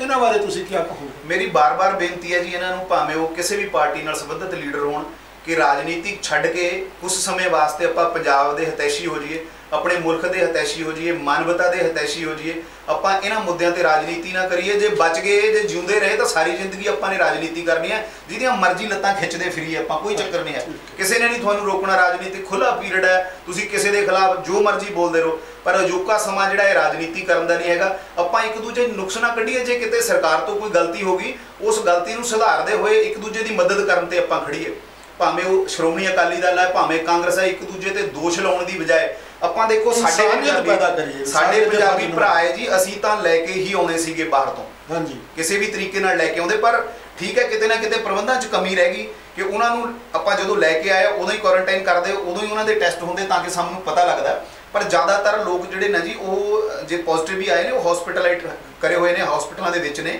ਉਹ ਸਰਕਾਰ ਨੇ ਸੰਭਾਲੇ ਹੋਏ ਨੇ। ਤੋਂ ਐਸੀ ਘਬਰਾਉਣ ਦੀ ਗੱਲ ਨਹੀਂ ਹੈਗੀ ਆਪਾਂ ਅਰਦਾਸ ਕਰੀਏ ਭਗਵਾਨ ਦੇ ਕੋਲ ਪ੍ਰਮਾਤਮਾ ਦੇ ਕੋਲ ਵਾਹਿਗੁਰੂ ਦੇ ਕੋਲ ਕਿ ਲੋਕ 네ਗੇਟਿਵ ਹੋਣ ਇਹਨਾਂ ਦੇ ਪਰਿਵਾਰ ਬਚਣ ਬਾਕੀ ਸਮਾਜ ਬਚੇ ਬਜਾਏ ਦੀ ਆਪਾਂ ਇੱਕ ਦੂਜੇ ਤੇ ਦੋਸ਼ ਲਾ ਲਾ ਕੇ ਇਸ ਗੱਲ ਨੂੰ ਅੱਗੇ ਵਧਾਈਏ ਬੜੀ ਮੁਸ਼ਕਲ ਦੇ ਨਾਲ ਪੰਜਾਬ ਨੇ ਇਹੋ ਜਿਹਾ ਵਧੀਆ ਸਮਾਂ ਦੇਖਿਆ ਜੀ 20 ਸਾਲ ਤੁਸੀਂ ਵੀ ਦੇਖਿਆ ਹੋਣਾ। ਕਿ ਕਿੱਡੀ ਪੰਜਾਬ ਦੇ ਵਿੱਚ ਭਾਈਚਾਰਕ ਜਿਹੜੀ ਸਾਂਝ ਟੁੱਟ ਕੇ ਰਹਿ ਗਈ ਸੀਗੀ ਬੜੀ ਮੁਸ਼ਕਲ ਦੇ ਨਾਲ ਹਿੰਦੂ ਸਿੱਖ ਮੁਸਲਮਾਨ ਇੱਕ ਭਰਾਵਾਂ ਦੀ ਤਰ੍ਹਾਂ ਰਹਿਣ ਲੱਗੇ ਆ। ਹਾਂ। ਆਪਾਂ ਇਹ ਕੋਈ ਕਹੀ ਜੀ ਇਹ ਜਮਾਤੀ ਹੈ ਇਹਨਾਂ ਕਰਕੇ ਹੋ ਗਿਆ ਜੀ ਇਹ ਸ਼ਰਧਾਲੂ ਹੈ ਇਹਨਾਂ ਕਰਕੇ ਹੋ ਗਿਆ ਕੱਲ ਨੂੰ ਕੋਈ ਹਿੰਦੂਆਂ ਨੇ ਕਿਤੇ ਕੋਈ ਹੋਰ ਕੋਈ ਧਰਮ ਦਾ ਬੰਦਾ ਉੱਠ ਕੇ ਤੁਰ ਪਿਆ ਜੀ ਇਹਨਾਂ ਕਰਕੇ ਹੋ ਗਿਆ ਬੜੀ ਮੁਸ਼ਕਲ ਦੇ ਨਾਲ ਸਮਾਜ ਇਹਨਾਂ ਚੀਜ਼ਾਂ ਵਿੱਚੋਂ ਉੱਭਰ ਕੇ ਬਾਹਰ ਨਿਕਲਿਆ। ਬੜਾ ਸੁੱਖ ਦਾ ਪੰਜਾਬ ਨੇ ਸਾਹਮਣੇ ਆਇਆ ਹੈ। ਬਿਲਕੁਲ ਬਿਲਕੁਲ। ਸੋ ਸਾਡੀ ਹੱਥ ਜੋੜ ਕੇ ਬੇਨਤੀ ਹੈ ਮੈਂ ਦੁਬਾਰਾ ਫਿਰ ਬੇਨਤੀ ਕਰਾਂਗਾ ਸ਼੍ਰੋਮਣੀ ਅਕਾਲੀ ਦਲ ਨੂੰ ਵੀ ਤੇ ਕਾਂਗਰਸੀ ਭਰਾਵਾਂ ਨੂੰ ਵੀ ਕਿ ਆਪਾਂ ਇੱਕ ਦੂਜੇ ਤੇ ਦੋਸ਼ ਲਾਉਣ ਦੀ ਬਜਾਏ ਨਾ ਆਪਾਂ ਇਹ ਇਹ ਸੋਚੀਏ ਆਪਾਂ ਕੀ ਕਰ ਸਕਦੇ ਹਾਂ ਅਸੀਂ ਕੀ ਕਰ ਸਕਦੇ ਹਾਂ ਠੀਕ ਹੈ ਕਿਸੇ ਤੋਂ ਗਲਤੀ ਹੋਈ ਹੈ ਉਹਨੂੰ ਰਿਅਲਾਈਜ਼ ਕਰਾਉਣਾ ਫਰਜ਼ ਬਣਦਾ ਉਹਨੂੰ ਦੱਸਣਾ ਫਰਜ਼ ਬਣਦਾ ਕਿ ਇੱਥੇ ਆ ਗਲਤੀ ਹੋਈ ਹੈ ਇਹ ਦੁਬਾਰਾ ਨਹੀਂ ਹੋਣੀ ਚਾਹੀਦੀ ਔਰ ਜੇ ਗਲਤੀ ਹੋਈ ਹੈ ਤਾਂ ਮੰਨ ਜਿੱਤੋਂ ਹੋਈ ਹੈ ਉਹਨੂੰ ਵੀ ਮੰਨਣਾ ਚਾਹੀਦਾ ਕਿ ਸਾਡੀ ਇੱਥੇ ਗਲਤੀ ਹੈ। ਅੜਨ ਦੀ ਜ਼ਰੂਰਤ ਨਹੀਂ ਉਹਦੇ ਉੱਪਰ ਕੋਈ ਪਾਣੀ ਪਾਉਣ ਦੀ ਜ਼ਰੂਰਤ ਨਹੀਂ ਹੈ ਕਿ ਜੀ ਨਹੀਂ ਜੀ ਨਹੀਂ ਅਸੀਂ ਨਹੀਂ ਮੰਨਣਾ ਸਾਤੋਂ ਗਲਤੀ ਨਹੀਂ ਗਲਤੀ ਤਾਂ ਕਿਤੇ ਨਾ ਕਿਤੇ ਹੈ। ਅਦਰਵਾਈਜ਼ ਜੇ ਇਹ ਸੰਭਾਲੇ ਹੁੰਦੇ ਤਾਂ ਇੰਨੇ ਸ਼ਾਇਦ ਇੰਨਾ ਨਾ ਵੱਧਦਾ। ਦੇਖੋ ਨਾ ਡਾਕਟਰ ਸਾਹਿਬ ਇਨਸਾਨ ਗਲਤੀਆਂ ਦਾ ਪੁਤਲਾ ਹੀ ਹੈ। ਬਿਲਕੁਲ ਗਲਤੀ ਕਿਤੇ ਨਾ ਕਿਤੇ ਹੋ ਹੀ ਜਾਂਦੀ ਹੈ। ਪਰ ਪ੍ਰੋਬਲਮ ਇਹ ਹੈ ਨਾ ਜੀ ਕਿ ਇਸ ਤਰਾਸਦੀ ਦੇ ਵਿੱਚ ਆਪਾਂ ਇੱਕ ਗੁੰਜਾਇਸ਼ ਕਿਤੇ ਨਹੀਂ ਹੈ। ਕਿਉਂਕਿ ਜੇ ਉਹ ਆਪਣੇ ਘਰ ਚਲੇ ਜਾਂਦੇ ਆ ਤਾਂ ਪੂਰੇ ਦਾ ਪੂਰਾ ਪਰਿਵਾਰ ਇਸ ਬਿਮਾਰੀ ਤੋਂ ਗ੍ਰਸਤ ਹੋ ਸਕਦਾ ਹੈ ਔਰ। ਸਰਕਾਰ ਨੂੰ ਪ੍ਰਸ਼ਾਸਨ ਨੂੰ ਜਿੰਨੇ ਪੇਸ਼ੈਂਟ ਵੱਧਦੇ ਆ ਉਨੇ ਸੰਭਾਲਣੇ ਵੀ ਮੁਸ਼ਕਲ ਹੋ ਮੁਸ਼ਕਲ ਹੋ ਜਾਣਗੇ। ਸਾਡੇ ਕੋਲ ਐਡਾ ਵੱਡਾ ਸਿਸਟਮ ਨਹੀਂ ਹੈ ਅਮਰੀਕਾ ਇਟਲੀ ਵਰਗੇ ਮੁਲਕ ਜਿਨ੍ਹਾਂ ਦੀ ਜਿਨ੍ਹਾਂ ਦੀ ਸਾਰਾ ਵਿਸ਼ਵ ਇਹ ਮੰਨਦਾ ਹੈ ਕਿ ਇਹਨਾਂ ਦਾ ਹੈਲਥ ਵਿਭਾਗ ਜਿਹੜਾ ਸਭ ਤੋਂ ਸੋਲਿਡ ਹੈ। ਉੱਥੇ ਲੋਕ ਰੁਲ ਰੁਲ ਕੇ ਮਰ ਗਏ ਨੇ। ਇਸ ਕਰਕੇ ਸਾਡੇ ਕੋਲ ਐਡਾ ਸਿਸਟਮ ਹੈ ਨਹੀਂ ਜਿੰਨਾ ਕੁ ਵੀ ਹੈਗਾ ਆਪਾਂ ਇਹ ਕੋਸ਼ਿਸ਼ ਕਰੀਏ ਕਿ ਇਹ ਪੇਸ਼ੈਂਟ ਵਧਣ ਇਹ ਇਹ ਜਿਹੜਾ ਸਮਾਂ ਹੈ ਨਾ ਜੀ ਬੜਾ ਸਬਰ ਨਾਲ ਅੰਦਰ ਬੈਠ ਕੇ ਟਾਈਮ ਕੱਢਣ ਦਾ ਸਮਾਂ ਹੈ। ਸੋ ਇਹ ਬੇਨਤੀ ਹੈ ਲੋਕਾਂ ਨੂੰ ਵੀ ਸਰੋਤਿਆਂ ਨੂੰ ਵੀ ਜਿੰਨੇ ਵੀ ਇਹ ਰੋਪੜ ਟੀਵੀ ਦੇ ਸਰੋਤੇ ਨੇ ਉਹਨਾਂ ਨੂੰ ਵੀ ਮੇਰੀ ਬੇਨਤੀ ਹੈ ਕਿ ਆਪਣੇ ਘਰਾਂ 'ਚ ਬੈਠੇ ਰਹੋ ਪ੍ਰਸ਼ਾਸਨ ਦਾ ਸਾਥ ਦਿਓ। ਜਦੋਂ ਪ੍ਰਸ਼ਾਸਨ ਕਹਿੰਦਾ ਕਿ ਤੁਸੀਂ ਇਸ ਵੇਲੇ ਨਿਕਲ ਸਕਦੇ ਹੋ ਬਾਹਰ ਉਸ ਵੇਲੇ ਨਿਕਲੋ। ਤੇ ਡਿਸਟੈਂਸ ਮੇਨਟੇਨ ਕਰਕੇ ਰੱਖੋ ਜਦੋਂ ਵੀ ਤੁਸੀਂ ਦੁਕਾਨਾਂ 'ਚ ਜਾਣਾ ਜੇ ਇਹ ਨਹੀਂ ਜੀ ਹੁਣ ਜੀ ਤੁਸੀਂ ਤੁਹਾਡਾ ਕਰਫਿਊ ਖੁੱਲ ਗਿਆ ਤੁਸੀਂ ਭੀੜ ਭੀੜ ਬਣਾ ਕੇ ਜਾਓ। ਇਹ ਮੇਰੀ ਬੇਨਤੀ ਇੱਕ ਹੋਰ ਹੈ ਕਿ ਜਦੋਂ ਵੀ ਪਿੰਡਾਂ ਦੇ ਲੋਕ ਸ਼ਹਿਰ ਦੇ ਵੱਲ ਆਉਂਦੇ ਨੇ ਜੀ ਉਦੋਂ ਪ੍ਰਸ਼ਾਸਨ ਨੂੰ ਇਹ ਚਾਹੀਦਾ ਕਿ ਉਹ ਸਰਪੰਚ ਸਾਹਿਬਾਨ ਦੀ ਡਿਊਟੀ ਲਾਉਣ। ਕਿ ਤੁਹਾਡੇ ਪਿੰਡ ਚੋਂ ਬਾਰੀਆਂ ਬੰਨਣ ਕਿ ਇੱਕ ਇੱਕ ਮਹੱਲੇ ਚੋਂ ਅੱਜ ਪੰਜ ਜਾਂ ਸੱਤ ਪਰਿਵਾਰ ਅੱਜ ਬਾਜ਼ਾਰ ਜਾ ਸਕਦੇ ਆ। ਜ਼ਿਆਦਾ ਲੋਕ ਬਾਜ਼ਾਰ ਨਾ ਜਾਣ ਇੱਕ ਇੱਕ ਪਿੰਡ ਦੇ ਵਿੱਚੋਂ। ਕਿਉਂਕਿ ਸਰਪੰਚਾਂ ਨੇ ਮੈਂ ਸਲੂਟ ਕਰਦਾ ਉਹਨਾਂ ਸਰਪੰਚਾਂ ਨੂੰ ਖਾਸ ਕਰਕੇ ਜਿਹੜੇ ਨਵੇਂ ਸਰਪੰਚ ਇਸ ਵਾਰ ਪੰਜਾਬ ਦੇ ਵਿੱਚ ਚੁਣ ਕੇ ਆਏ ਨਾ ਜੀ ਅਸੀਂ ਪਿੰਡਾਂ ਦੇ ਵਿੱਚ ਦੇਖਿਆ ਉਹਨਾਂ ਨੇ ਪਿੰਡਾਂ ਨੂੰ ਕਿਵੇਂ ਲੋਕਡਾਊਨ ਕਰਕੇ ਰੱਖਿਆ। ਬਹੁਤ ਵਧੀਆ ਢੰਗ ਦੇ ਨਾਲ ਹਾਲਾਂਕਿ ਬਹੁਤ ਲੋਕਾਂ ਨੇ ਕਿਤੇ ਇਤਰਾਜ਼ ਵੀ ਕਰਨਾ ਲੜਾਈ ਝਗੜੇ ਵੀ ਹੋਣੇ। ਪਰ ਕਿਸੇ ਨਾ ਕਿਸੇ ਤਰੀਕੇ ਨਾਲ ਇਹਨਾਂ ਨੇ ਸਰਪੰਚ ਰਸਤੇ ਬਲੌਕ ਕਰ ਦਿੱਤੇ ਬਿਲਕੁਲ, ਬਿਲਕੁਲ, ਬਹੁਤ ਬਾਹਰੋਂ। ਬੰਦਾ ਕੋਈ ਪਿੰਡ ਚ ਆ ਹੀ ਨਾ ਸਕੇ ਇਸੇ ਇਸੇ ਗੱਲ ਦਾ ਡਰ ਹੈਗਾ ਕਿ ਐਡੀ ਮਿਹਨਤ ਕਰਨ ਦੇ ਬਾਵਜੂਦ ਜੇ ਬਾਅਦ ਦੇ ਵਿੱਚ ਕੋਈ ਰਿਜ਼ਲਟ ਪ੍ਰੋਪਰ ਨਾ ਨਿਕਲੇ ਨਾ ਬੜਾ ਦੁੱਖ ਲੱਗਦਾ ਦੁੱਖ ਲੱਗਦਾ। ਪਰ ਇਹ ਹੁਣ ਜੇ ਆਪਾਂ ਇਹ ਕਹੀਏ ਜੀ ਇਹ ਸ਼ਰਧਾਲੂ ਤੇ ਇਹਨਾਂ ਕਰਕੇ ਹੋ ਗਿਆ ਉਹ ਸ਼ਰਧਾਲੂਆਂ ਕਰਕੇ ਨਹੀਂ ਹੋਇਆ ਸ਼ਰਧਾਲੂ ਉੱਥੋਂ ਕਿਵੇਂ ਆਏ ਇੱਥੇ ਕਿਵੇਂ ਆਏ ਰਸਤੇ ਦੇ ਵਿੱਚ 3 ਦਿਨ ਦਾ ਸਫ਼ਰ ਵੀ ਹੈਗਾ ਕਿਸੇ ਨਾ ਕਿਸੇ ਤਰੀਕੇ ਨਾਲ ਪੋਜ਼ਿਟਿਵ ਹੋ ਗਏ ਉਹ ਜੇ ਮੇਰਾ ਮੇਰਾ ਮੇਰਾ ਆਪਣਾ ਮੇਰਾ। ਆਪਣਾ ਮਾਤਾ ਪਿਤਾ ਮੇਰਾ ਆਪ ਦਾ ਸਕਾ ਭਰਾ ਜੇ ਕਿਤੇ ਪੋਜ਼ਿਟਿਵ ਹੁੰਦਾ ਮੈਂ ਘਰੋਂ ਥੋੜਾ ਬਾਹਰ ਸੁੱਟ ਦੇਣਾ ਉਹਨੂੰ ਸੰਭਾਲਣ ਦੀ ਜ਼ਰੂਰਤ ਹੈ। ਠੀਕ ਹੈ ਨਾ? ਜਿੱਥੇ ਕਿਤੇ ਵਧੀਆ ਸਿਸਟਮ ਮਿਲਦਾ ਭਾਵੇਂ ਉਹ ਸ਼੍ਰੋਮਣੀ ਕਮੇਟੀ ਦੀਆਂ ਸਰਾਏ ਹੈਗੀਆਂ। ਜੀ। ਠੀਕ ਹੈ ਨਾ ਜੀ? ਗੁਰੂ ਘਰ ਹੈ ਉਹ ਤਾਂ ਸ਼ੁਰੂ ਤੋਂ ਹੀ ਜਦ ਤੋਂ ਇਹ ਤਰਾਸਦੀ ਹੋਈ ਹੈ ਉੱਥੇ ਲੰਗਰ ਲੱਗੇ ਹੋਏ ਆ। ਆਪਾਂ ਐਵੇਂ ਦੋਸ਼ ਲਾਈਏ ਕਿਸੇ ਤੋਂ ਵੀ ਵੀ ਇਹ ਪਾਰਟੀ ਨਾਲ ਸੰਬੰਧਿਤ ਹੈ ਬਿਲਕੁਲ ਨਹੀਂ ਲਾਉਣਾ ਚਾਹੀਦਾ। ਆਪਾਂ ਇੱਕ ਇੱਕ ਤੋਂ ਵੱਧ ਕੇ ਇੱਕ ਮਦਦ ਕਰਨ ਨੂੰ ਤਿਆਰ ਖੜਾ ਇੱਥੇ। ਥੋੜਾ ਜਿਹਾ ਸੰਯਮ ਦੇ ਨਾਲ ਥੋੜਾ ਜਿਹਾ ਪਿਆਰ ਦੇ ਨਾਲ ਇੱਕ ਦੂਜੇ ਨੂੰ ਜੇ ਕਿਤੇ ਕੋਈ ਦਿੱਕਤ ਆਉਂਦੀ ਵੀ ਹੈ ਨਾ ਜੀ ਤਾਂ ਉੱਥੇ ਨੀਵੇਂ ਹੋ ਕੇ ਗੱਲ ਕਰ ਲੈਣੀ ਚਾਹੀਦੀ ਹੈ ਆਪਣੇ ਆਪ ਨੂੰ ਬੜਾ ਦਿਖਾ ਕੇ ਗੱਲ ਕਰਨ ਦੀ ਜ਼ਰੂਰਤ ਨਹੀਂ ਹੈ। ਸੋ ਆਪਾਂ ਇੱਕ ਦੂਜੇ ਦਾ ਕੋਆਪਰੇਟ ਕਰੀਏ ਇੱਕ ਦੂਜੇ ਨੂੰ ਕੋਆਪਰੇਸ਼ਨ ਦੇ ਨਾਲ ਇਹ ਮਸਲੇ ਦਾ ਹੱਲ ਹੋ ਸਕਦਾ। ਥੋੜਾ ਜਿਹਾ ਸਮਾਂ ਜ਼ਰੂਰ ਲੱਗੂਗਾ। ਉਹ ਤਾਂ ਠੀਕ ਹੈ ਡਾਕਟਰ ਸਾਹਿਬ ਪਿੱਛੇ ਦਿਨਾਂ ਦੇ ਵਿੱਚ ਅਸੀਂ ਬੜੇ ਖੁਸ਼ ਸਾਂ। ਹਾਂਜੀ। ਕਿ ਸਾਡਾ ਰੋਪੜ ਜ਼ਿਲ੍ਹਾ ਬਹੁਤ ਵਧੀਆ ਬਿਲਕੁਲ ਦੋ ਹੀ ਕੇਸ ਸੀਗੇ। ਬਿਲਕੁਲ। ਉਹ ਵੀ ਨਾ ਹੋਇਆ ਵਰਗੇ ਦੇ ਸੀ। ਬਿਲ- ਬਿਲਕੁਲ। ਠੀਕ ਹੈ ਨਾ ਜੀ? ਬਿਲਕੁਲ ਆ ਗਏ ਸੀ। ਗ੍ਰੀਨ ਜ਼ੋਨ ਸਾਡਾ ਜ਼ਿਲ੍ਹਾ ਸੀ। ਮੈਂ ਕਹਿੰਦਾ ਜੀ ਤੁਸੀਂ ਤੁਸੀਂ ਇਹ ਜਿਹੜੀ ਇਹ ਜਿਹੜੀ ਧਰਤੀ ਹੈ ਨਾ ਜੀ ਜੀ। ਇਹ ਸ੍ਰੀ ਗੁਰੂ ਗੋਬਿੰਦ ਸਿੰਘ ਮਹਾਰਾਜ ਦੀ ਧਰਤੀ ਹੈ। ਇੱਥੇ ਖਾਲਸਾ ਪੰਥ ਦੀ ਸਥਾਪਨਾ ਹੋਈ। ਤੁਸੀਂ ਯਕੀਨ ਨਹੀਂ ਕਰਨਾ।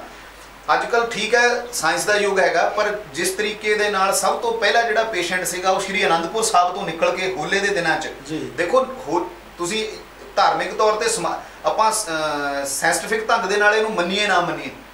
ਜਿਵੇਂ ਜਿਵੇਂ ਮਰਜ਼ੀ ਲਾ ਲਈਏ ਪਰ ਜੇ ਅਧਿਆਤਮਿਕ ਤੌਰ ਤੇ ਦੇਖੀਏ ਤਾਂ ਹੋਲੇ ਦੇ ਵਿੱਚ ਕੋਈ ਵੀ ਬੰਦਾ ਪੋਜ਼ਿਟਿਵ ਨਹੀਂ ਆਇਆ। ਉਹ ਜਿਹੜੇ ਜਿਹੜੇ ਬਜ਼ੁਰਗ ਸਨ ਜਿਹੜੇ ਪੋਜ਼ਿਟਿਵ ਆਏ ਸਨ ਉਹ ਹੋਲੇ ਦੇ ਦਿਨਾਂ ਦੇ ਵਿੱਚ ਯਾਤਰਾ ਤੋਂ ਸ਼੍ਰੀ ਅਨੰਦਪੁਰ ਸਾਹਿਬ ਸਟੇ ਵੀ ਕੀਤੀ ਉਹਨਾਂ ਨੇ ਉੱਥੇ ਬੈਠੇ ਵੀ ਦੀਵਾਨ ਹਾਲ ਦੇ ਵਿੱਚ। ਉਹਦੇ ਬਾਵਜੂਦ ਉੱਥੇ ਕਿਸੇ ਦਾ ਬਲ ਵਿੰਗਾ ਨਹੀਂ ਹੋਇਆ। ਮੈਂ ਕਹਿੰਦਾ ਜੀ ਕੋਈ ਮੰਨੇ ਨਾ ਮੰਨੇ ਪਰ ਅਸੀਂ ਇਸ ਗੱਲ ਨੂੰ ਮੰਨਦੇ ਹਾਂ ਕਿ ਦਸਵੇਂ ਪਾਤਸ਼ਾਹ ਦੀ ਇਹ ਧਰਤੀ ਹੈ।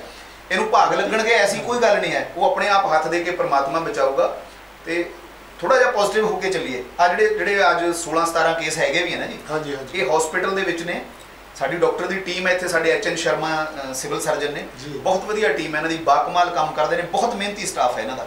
ਸਾਡੇ ਐਸਐਸਪੀ ਸਾਹਿਬ ਸਾਡੇ ਡੀਸੀ ਸਾਹਿਬ ਐਸਡੀਐਮ ਦਿਨ ਰਾਤ ਮਿਹਨਤ ਕਰ ਰਹੇ ਨੇ ਐਵੇਂ ਕਹੀਏ ਠੀਕ ਹੈ ਨਾ? ਤਾਂ ਆਪਾਂ 네ਗੇਟਿਵ ਕਿਉਂ ਸੋਚਦੇ? ਇਹ 17 18 ਜਿਹੜੇ ਪੇਸ਼ੈਂਟ ਹੈ ਨਾ ਜੀ ਤੁਸੀਂ ਮੈਂ ਯਕੀਨ ਨਾਲ ਕਹਿਣਾ ਇਹ ਇਹ 10 15 ਦਿਨਾਂ ਦੇ ਵਿੱਚ ਇਹਨਾਂ ਦੀਆਂ 네ਗੇਟਿਵ ਆ ਜਾਣਗੀਆਂ ਜੀ ਰਿਪੋਰਟਾਂ। ਵਾਹ ਵਾਹ। ਠੀਕ ਹੈ ਨਾ ਜੀ? ਬਿਲਕੁਲ ਬਿਲਕੁਲ। ਤੁਸੀਂ ਆਪਾਂ ਪੋਜ਼ਿਟਿਵ ਹੋ ਕੇ ਚੱਲੀਏ ਜੀ। ਆਪਾਂ ਨੂੰ ਜ਼ਰੂਰਤ ਹੈ ਇਹਨਾਂ ਨੂੰ ਸੰਭਾਲਣ ਦੀ। ਨਾ ਕਿ ਆਪਾਂ ਇੱਕ ਦੂਜੇ ਆਪਾਂ ਆਪਾਂ ਕਰਕੇ ਆ ਸਕਦੇ ਆ ਇਹਨਾਂ ਦੇ ਪਰਿਵਾਰਾਂ ਨੂੰ ਹੌਸਲਾ ਦੇ ਸਕਦੇ ਆ ਆਪਾਂ। ਇਹਨਾਂ ਦੇ ਪਰਿਵਾਰਾਂ ਦੀ ਜੇ ਕੋਈ ਇਹਨਾਂ ਦੇ ਵਿੱਚ ਕੋਈ ਆਰਥਿਕ ਪੱਖੋਂ ਕਮਜ਼ੋਰ ਪਰਿਵਾਰ ਆ ਅਸੀਂ ਉਹਦੀ ਮਦਦ ਕਿਉਂ ਨਹੀਂ ਕਰਦੇ ਜਾ ਕੇ। ਉਹਨਾਂ ਨੂੰ ਹੌਸਲਾ ਦਈਏ ਵੀ ਕੋਈ ਗੱਲ ਨਹੀਂ ਜੇ ਜੇ ਹੋ ਗਿਆ ਨਾ ਹਾਂ। ਅਸੀਂ ਪ੍ਰਸ਼ਾਸਨ ਤੁਹਾਡੇ ਨਾਲ ਆ, ਅਸੀਂ ਤੁਹਾਡੇ ਨਾਲ। ਬਜਾਏ ਇਹਦੇ ਆਂਡ ਗਵਾਂਡ ਨੂੰ ਵੀ ਪੂਰਾ ਬਿਲ- ਬਿਲਕੁਲ, ਤਸੱਲੀ ਦੇਣੀ ਚਾਹੀਦੀ। ਪਰ ਇੱਕ ਜ਼ਰੂਰ ਹੈ ਕਿ ਉਹਨਾਂ ਪਰਿਵਾਰਾਂ ਨੂੰ ਸੱਚਾਈ ਦੱਸਣੀ ਚਾਹੀਦੀ ਹੈ ਕਿ ਜੇ ਕੋਈ ਤੁਹਾਨੂੰ ਮਿਲ ਚੁੱਕਿਆ ਹੈ ਤੁਹਾਡੇ ਪਰਿਵਾਰ ਦੇ ਸੰਪਰਕ ਚ ਆਇਆ ਆਇਆ। ਪ੍ਰਸ਼ਾਸਨ ਨੂੰ ਦੱਸੋ ਦੱਸੋ ਸਹੀ ਗੱਲ ਇਹ ਇਹ ਲੁਕਾਉਣਾ ਨਹੀਂ ਚਾਹੀਦਾ ਬਿਲਕੁਲ ਉਹਦੇ ਨਾਲ ਨੁਕਸਾਨ ਹੋਣਾ ਹਾਂ, ਉਹਦੇ ਨਾਲ। ਦੁੱਖ ਉਸ ਵੇਲੇ ਜਦੋਂ ਸਭ ਤੋਂ ਪਹਿਲਾਂ ਮੁਸਲਮਾਨ ਭਾਈਚਾਰੇ ਦੀ ਜ਼ਿਆਦਾ ਖੱਪ ਪਈ ਹੈ ਨਾ ਇਸ ਚੀਜ਼ ਦੀ।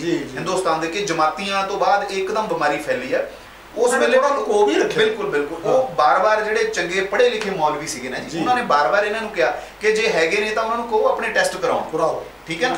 ਉਹੀ ਉਹੀ ਸਾਡੀ ਬੇਨਤੀ ਸ਼ਰਧਾਲੂਆਂ ਨੂੰ। ਉਹੀ ਸਾਡੀ ਬੇਨਤੀ ਅੱਜ ਜਿਹੜੇ ਰਾਜਸਥਾਨ ਤੋਂ ਅੱਜ ਰੌਲਾ ਪੈ ਰਿਹਾ ਕਿ ਰਾਜਸਥਾਨ ਤੋਂ ਲੇਬਰ ਕਾਫੀ ਪੰਜਾਬ ਦੇ ਵਿੱਚ ਆਈ ਹੈ। ਦੇਖੋ ਉਹ ਉਹ ਮਜ਼ਦੂਰ ਲੋਕ ਹੈ ਉਹਨਾਂ ਨੇ ਕੰਮ ਕਰਨ ਤਾਂ ਜਾਣਾ ਹੈ ਨਾ। ਤੇ ਆਪਣੀ ਰੋਜੀ ਰੋਟੀ ਲਈ ਉਹਨਾਂ ਨੂੰ ਤੁਸੀਂ ਦਰਕਾਰ ਨਹੀਂ ਸਕਦੇ ਸਾਡੇ ਪੰਜਾਬੀ ਭਰਾ ਕਿਸੇ ਵੀ ਧਰਮ ਦੇ ਹੋਣ ਕਿਸੇ ਵੀ ਜਾਤ ਦੇ ਹੋਣ। ਉਹਨਾਂ ਨੂੰ ਉਹਨਾਂ ਨੇ ਪੰਜਾਬ ਚ ਆਉਣਾ ਮੁੜ ਕੇ। ਪਰ ਫਿਰ ਉਹੀ ਬੇਨਤੀ ਹੈ ਕਿ ਜੋ ਆਏ ਹੋਏ ਨੇ ਕਿਤੇ ਤਾਂ ਉਹ ਆਪਣੇ ਆਪ ਨੂੰ ਸਾਹਮਣੇ ਲੈ ਕੇ ਆਉਣ। ਉਹ ਪ੍ਰਸ਼ਾਸਨ ਨੂੰ ਦੱਸਣ ਕਿ ਮੈਂ ਇੰਨੇ ਦਿਨ ਬਾਹਰ ਲਾ ਕੇ ਆਇਆ ਮੇਰੇ ਟੈਸਟ ਕੀਤੇ ਜਾਣ। ਕਿਉਂਕਿ ਅਦਰਵਾਈਜ਼ ਉਹਦੇ ਸਭ ਤੋਂ ਪਹਿਲਾਂ ਸਮਾਜ ਨੂੰ ਬਾਅਦ ਚ ਉਹਦੇ ਪਰਿਵਾਰ ਨੂੰ ਆਪਣੇ ਪਰਿਵਾਰ ਨੂੰ ਖਤਰਾ ਹੈ। ਠੀਕ ਆ ਹਾਂ। ਸਾਨੂੰ ਸਾਨੂੰ ਅਵੇਅਰ ਕਰਨਾ ਚਾਹੀਦਾ ਨਾ ਕਿ ਅਸੀਂ ਦਰਕਾਰੀਏ ਉਹਨਾਂ ਨੂੰ। ਜੀ। ਦੋਸ਼ ਲਾ ਲਈਏ ਜੀ ਇਹ ਕਿਉਂ ਗਏ ਸੀ ਇਹ ਯਾਤਰਾ ਤੇ? ਹਾਂ ਹਾਂ ਇਹ ਕਿਉਂ ਗਏ ਸੀ ਇਹ ਰਾਜਸਥਾਨ? ਜਾਣਾ ਹੈ ਲੋਕਾਂ ਨੇ। ਆਪਾਂ ਰੋਕ ਨਹੀਂ ਸਕਦੇ ਅਗਲੇ ਦੀ ਧਾਰਮਿਕ ਭਾਵਨਾ ਤੇ ਸਾਡੀਆਂ ਕਿਸੇ ਹੋਰ ਨਾਲ ਜੁੜੀਆਂ ਹੋ ਸਕਦੀਆਂ ਉਹਦੀਆਂ ਉਧਰ ਜੁੜੀਆਂ ਹੋ ਸਕਦੀਆਂ। ਆਪਾਂ ਇਸ ਚੀਜ਼ ਨੂੰ ਕਿਉਂਕਿ ਸਾਡੇ ਹਿੰਦੁਸਤਾਨ ਦਾ ਤਾਂ ਸਿਸਟਮ ਹੀ ਇਦਾਂ ਤੁਰਿਆ ਹੋਇਆ। ਸਭ ਤੋਂ ਪਹਿਲਾਂ ਧਰਮ ਧਰਮ ਦੇਖਦੇ ਹਾਂ ਆਪਾਂ ਕਿ ਮੇਰਾ ਧਰਮ ਕਾਮ ਹੈ ਕਾਮਯਾਬ ਹੈ ਜਾਂ ਨਹੀਂ ਤੁਸੀਂ ਡਾਕਟਰ ਸਾਹਿਬ ਇੱਕ ਗੱਲ ਕਹੀ ਸੀ ਕਿ ਨੰਦੇੜ ਸਾਹਿਬ ਤੋਂ ਸੰਗਤ ਆਈ। ਬਿਲਕੁਲ ਜੀ। ਹੁਣ ਉਹ ਰਸਤਾ ਕਾਫੀ ਲੰਬਾ। ਤਿੰਨ ਦਿਨ ਦਾ ਤਿੰਨ ਦਿਨ ਦਾ ਸਫ਼ਰ ਹੈ। ਔਰ ਦੇਖੋ ਸੱਚੇ ਪਾਤਸ਼ਾਹ ਦੀ ਕਿਰਪਾ ਨਾਲ ਮੈਨੂੰ ਵੀ ਉੱਥੇ ਪੰਜ ਵਾਰੀ ਜਾਣ ਦਾ ਮੌਕਾ ਮਿਲਿਆ। ਬਿਲਕੁਲ ਜੀ। ਕਿਆ ਬਾ ਕਮਾਲ। ਬਿਲਕੁਲ ਜੀ। ਦਰਸ਼ਨ ਕਰਕੇ ਰੂਹ ਖੁਸ਼ ਹੋ ਗਈ। ਔਰ ਉੱਥੇ ਇਹੋ ਜਿਹੀ ਕੋਈ ਗੱਲ ਹੀ ਨਹੀਂ ਹੈ। ਤੇ ਗੁਰਦੁਆਰਾ ਸਾਹਿਬ ਦੇ ਨਾਲੇ ਬੜਾ ਤਕੜਾ ਹਸਪੀਟਲ ਵੀ ਹੈ। ਉੱਥੇ ਜਿਹੜੇ ਜਥੇਦਾਰ ਸਾਹਿਬ ਨੇ ਉਹਨਾਂ ਨੇ ਵੀ ਕਿਹਾ ਕਿ ਅਸੀਂ ਅਸੀਂ ਸੰਗਤ ਨੂੰ ਕੋਈ ਸਿਰਫ ਸੰਗਤ ਕਰਕੇ ਨਹੀਂ ਸਾਡੇ ਆਪਣੇ ਬੱਚੇ ਆ ਸਾਡੇ ਭਰਾ ਆ ਅਸੀਂ ਇਹਨਾਂ ਦੀ ਸਾਂਭ ਸੰਭਾਲ ਕੀਤੀ ਹੈ ਇਹਨਾਂ ਦੇ ਮੈਡੀਕਲ ਟੈਸਟ ਵੀ ਅਸੀਂ ਕਰਾਏ ਆ।